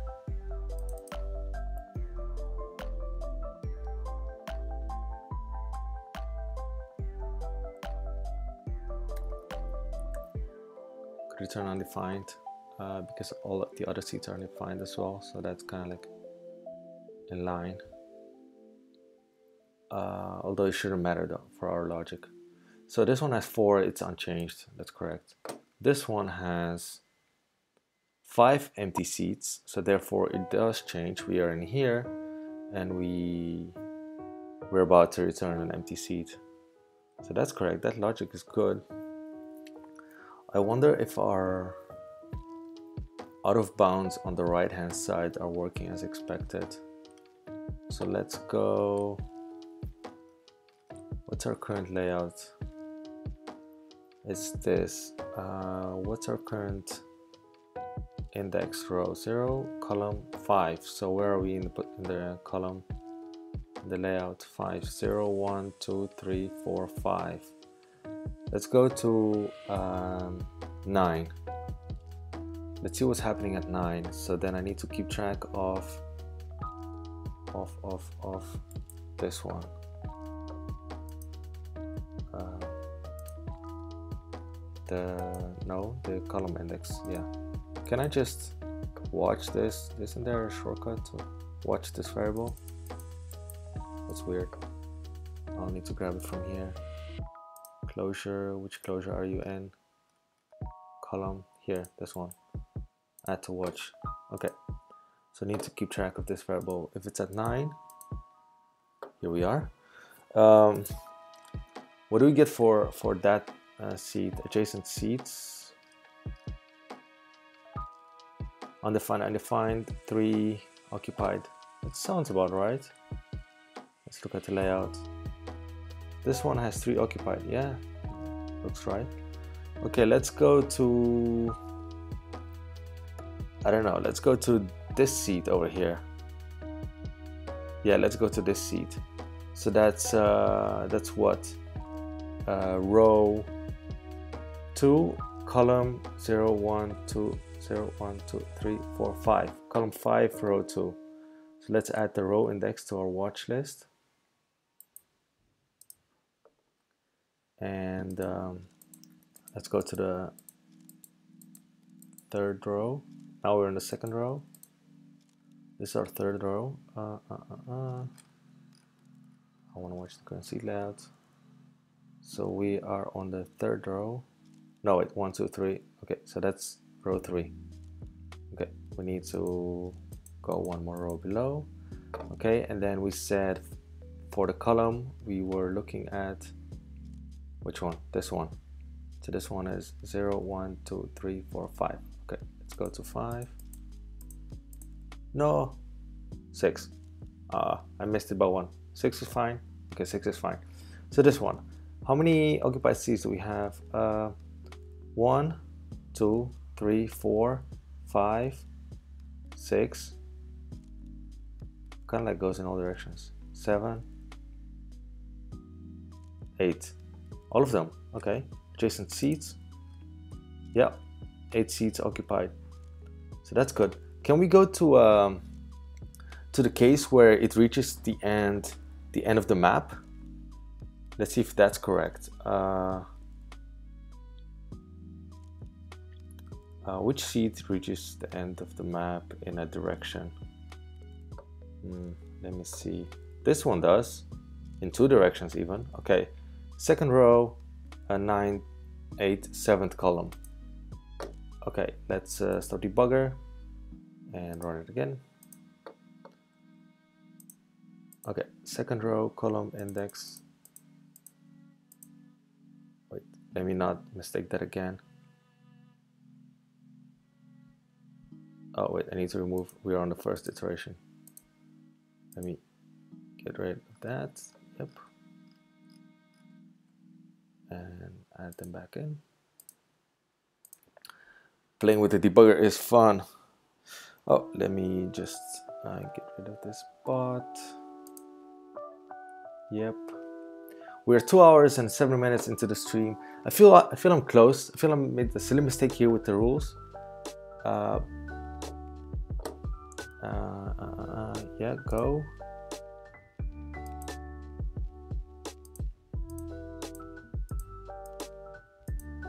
Okay, good. So we're in the, wait, oh, I keep forgetting what I'm looking for here. Row 2, column I said 987. Row 2, 7. Okay. Row 2, okay.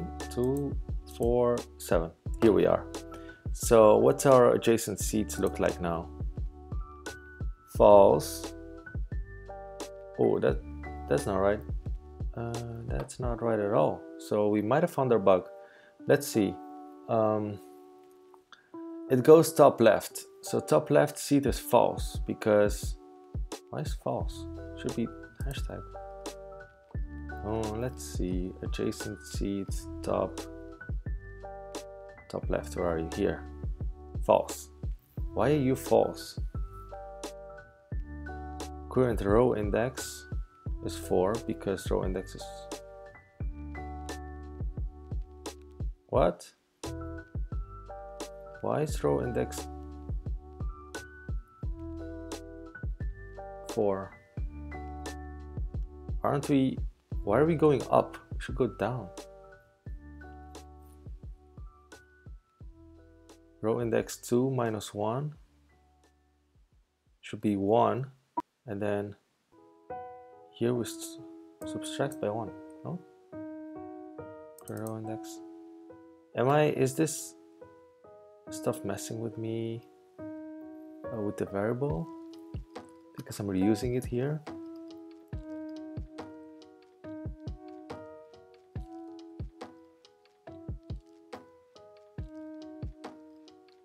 Oh wait maybe we're Oh yeah, because we we went through all of those already. Okay. Um, so okay, we can't debug that value, but top left was okay. Um, this does yeah we cannot look at these values because I've overwritten them in subsequent while. So this is gonna the row index and column index is is only valid for like the last run of this uh, this seed. So unfortunately. Um, let's see if the logic is right. Uh, we subtract the row and the column by 1 and so there we get a row is 1 column is 6 uh, so then we pass that in here with the current seed layout and get adjacent seed returns it grabs that that position. And if it's equal to a dot oh this this is wrong. If it's equal to a dot it's gonna return yeah this this is completely wrong. Uh, if it's equal to a dot then return undefined. Otherwise return the seed. Yeah that's what I want it's equal to a dot return undefined otherwise return. So this should be undefined. Now let's uh, let's check it. Row 2 okay let's do another run of the debugger.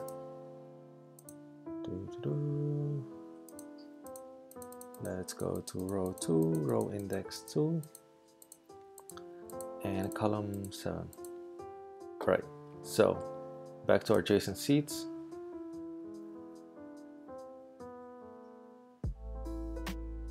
so instead of undefined it gives us an L. It's really strange.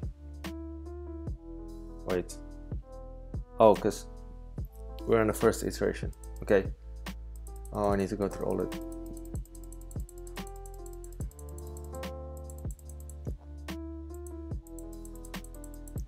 we're still on the first state of the map so we haven't changed all the rows so all the seats to occupied okay this is the state we're looking for. So row index 2 column index 7 great. Okay. So this is uh, occupied seat. Let me grab the current seat layout here. Yeah. Occupied seat. So we're looking at row index 2 7 this one. Occupied seat. That's good this one should be undefined. That's correct. This one should be occupied. This one should be occupied. This one is undefined. That's correct. And then we have occupied in every direction in the bottom. Yeah that's working well. Um, let's go. Yeah still still we still haven't fixed our bug. Oh so frustrating I want to get this done um, hmm. let's see uh, I want to print out yeah that's what I'm gonna do I'm gonna print out the states because we have for the second part, we have a few snapshots of how the state should look like. So our second state is good. Uh, our third state should look like this. Let's go uh, uh, ahead and print that. So this is our first state, second state, third state. It looks like this. It would be nice if I could somehow copy value can I just do this and then paste it in here? Oh, this looks nice. Can I format it somehow? Um, yeah. Ah, I can I can use this. Too much opening. Okay, so this is our third state. Something's wrong. I, I see already. Uh, first row has occupied seats on the edges, but all of them, all, all the others are empty which is now what we're doing here. We this sheet, this seat and this seat should have been emptied and this one as well.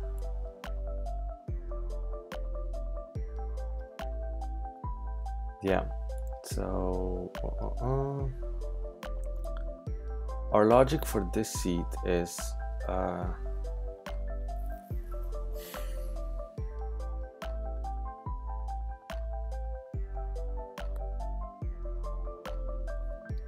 On our previous iteration, we were here, all seats were occupied.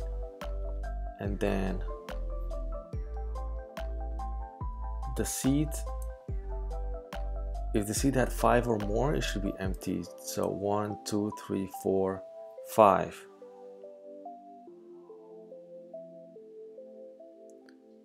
Should be emptied. Uh, but we did not. We did not. Are, is it because we're not copying the array correctly? I think we got rid of that bug from the previous, in the first part.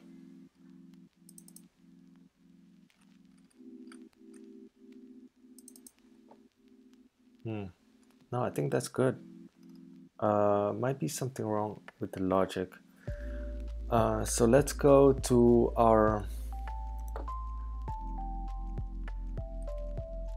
first, second, third iteration. Let's go into our third iteration, this seat, and see what uh, what we get. Not this seat, because that's our bug there. Yeah, this seat should be empty. So row index 0, column 0, 1, 2. Okay, I'm gonna do that. Let's run the debugger. So now we're on our first iteration, I'm not mistaken second one yeah we're in a second iteration that's where we need to stop and let's add a breakpoint for each code branch and we're looking for column index 2 here we are. So what are the adjacent seeds of that here? So we're looking at this seed right now in this state. Uh, top left the entire top area is undefined. So that's good.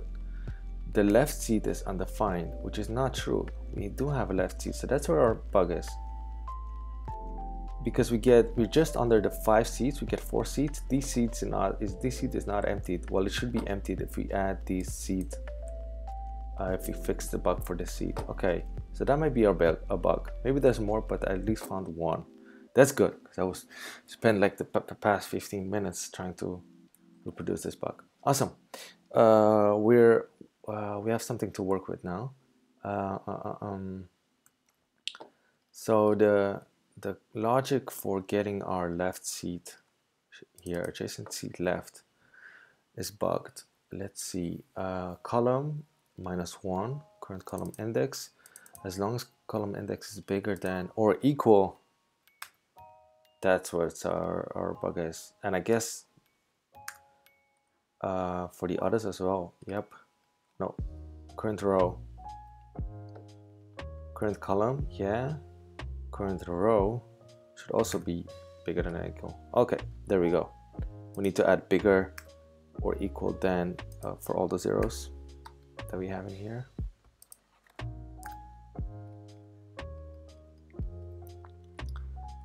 Okay.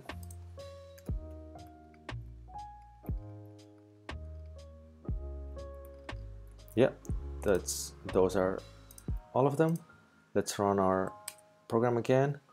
We get 33, so we get a number that's less. That's good. We're moving in the right direction. The correct number is the 26 though.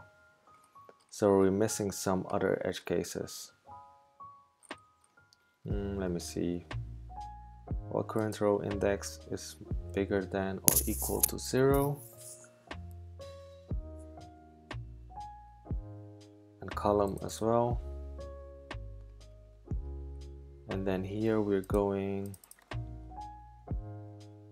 top center. So we're going up. That's good. Here we're going to the top right. So row goes down the column increment increments. So the row decrements the column uh, I think this is good. Column increments row decrements. Okay. We go to the left column uh, decrements we go to the right column increments. That's good. Here row length minus one. Oh wait or equal. Or equal or I can just say okay here's our second bug. So everywhere we have row length we remove the minus one. Otherwise we could just say smaller or equal then but I prefer to remove it. Um, and then also for the currency layout yeah uh, currency layout length.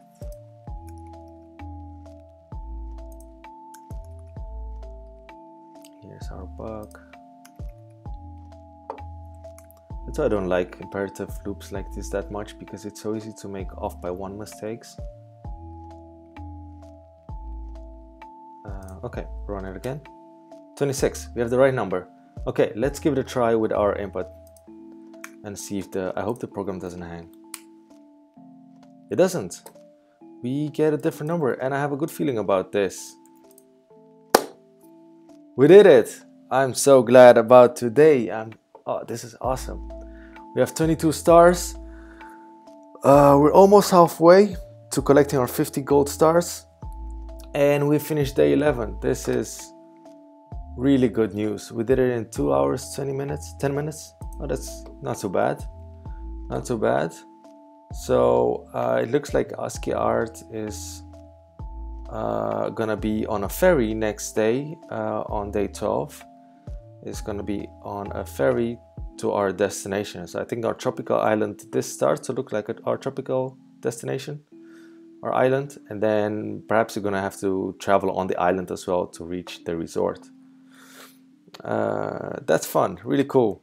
Um, let me, uh, before I close off this stream, I'm gonna add, uh, commit the solution and uh, push it to the repository so that you folks can have a look uh, to what we came up with here today.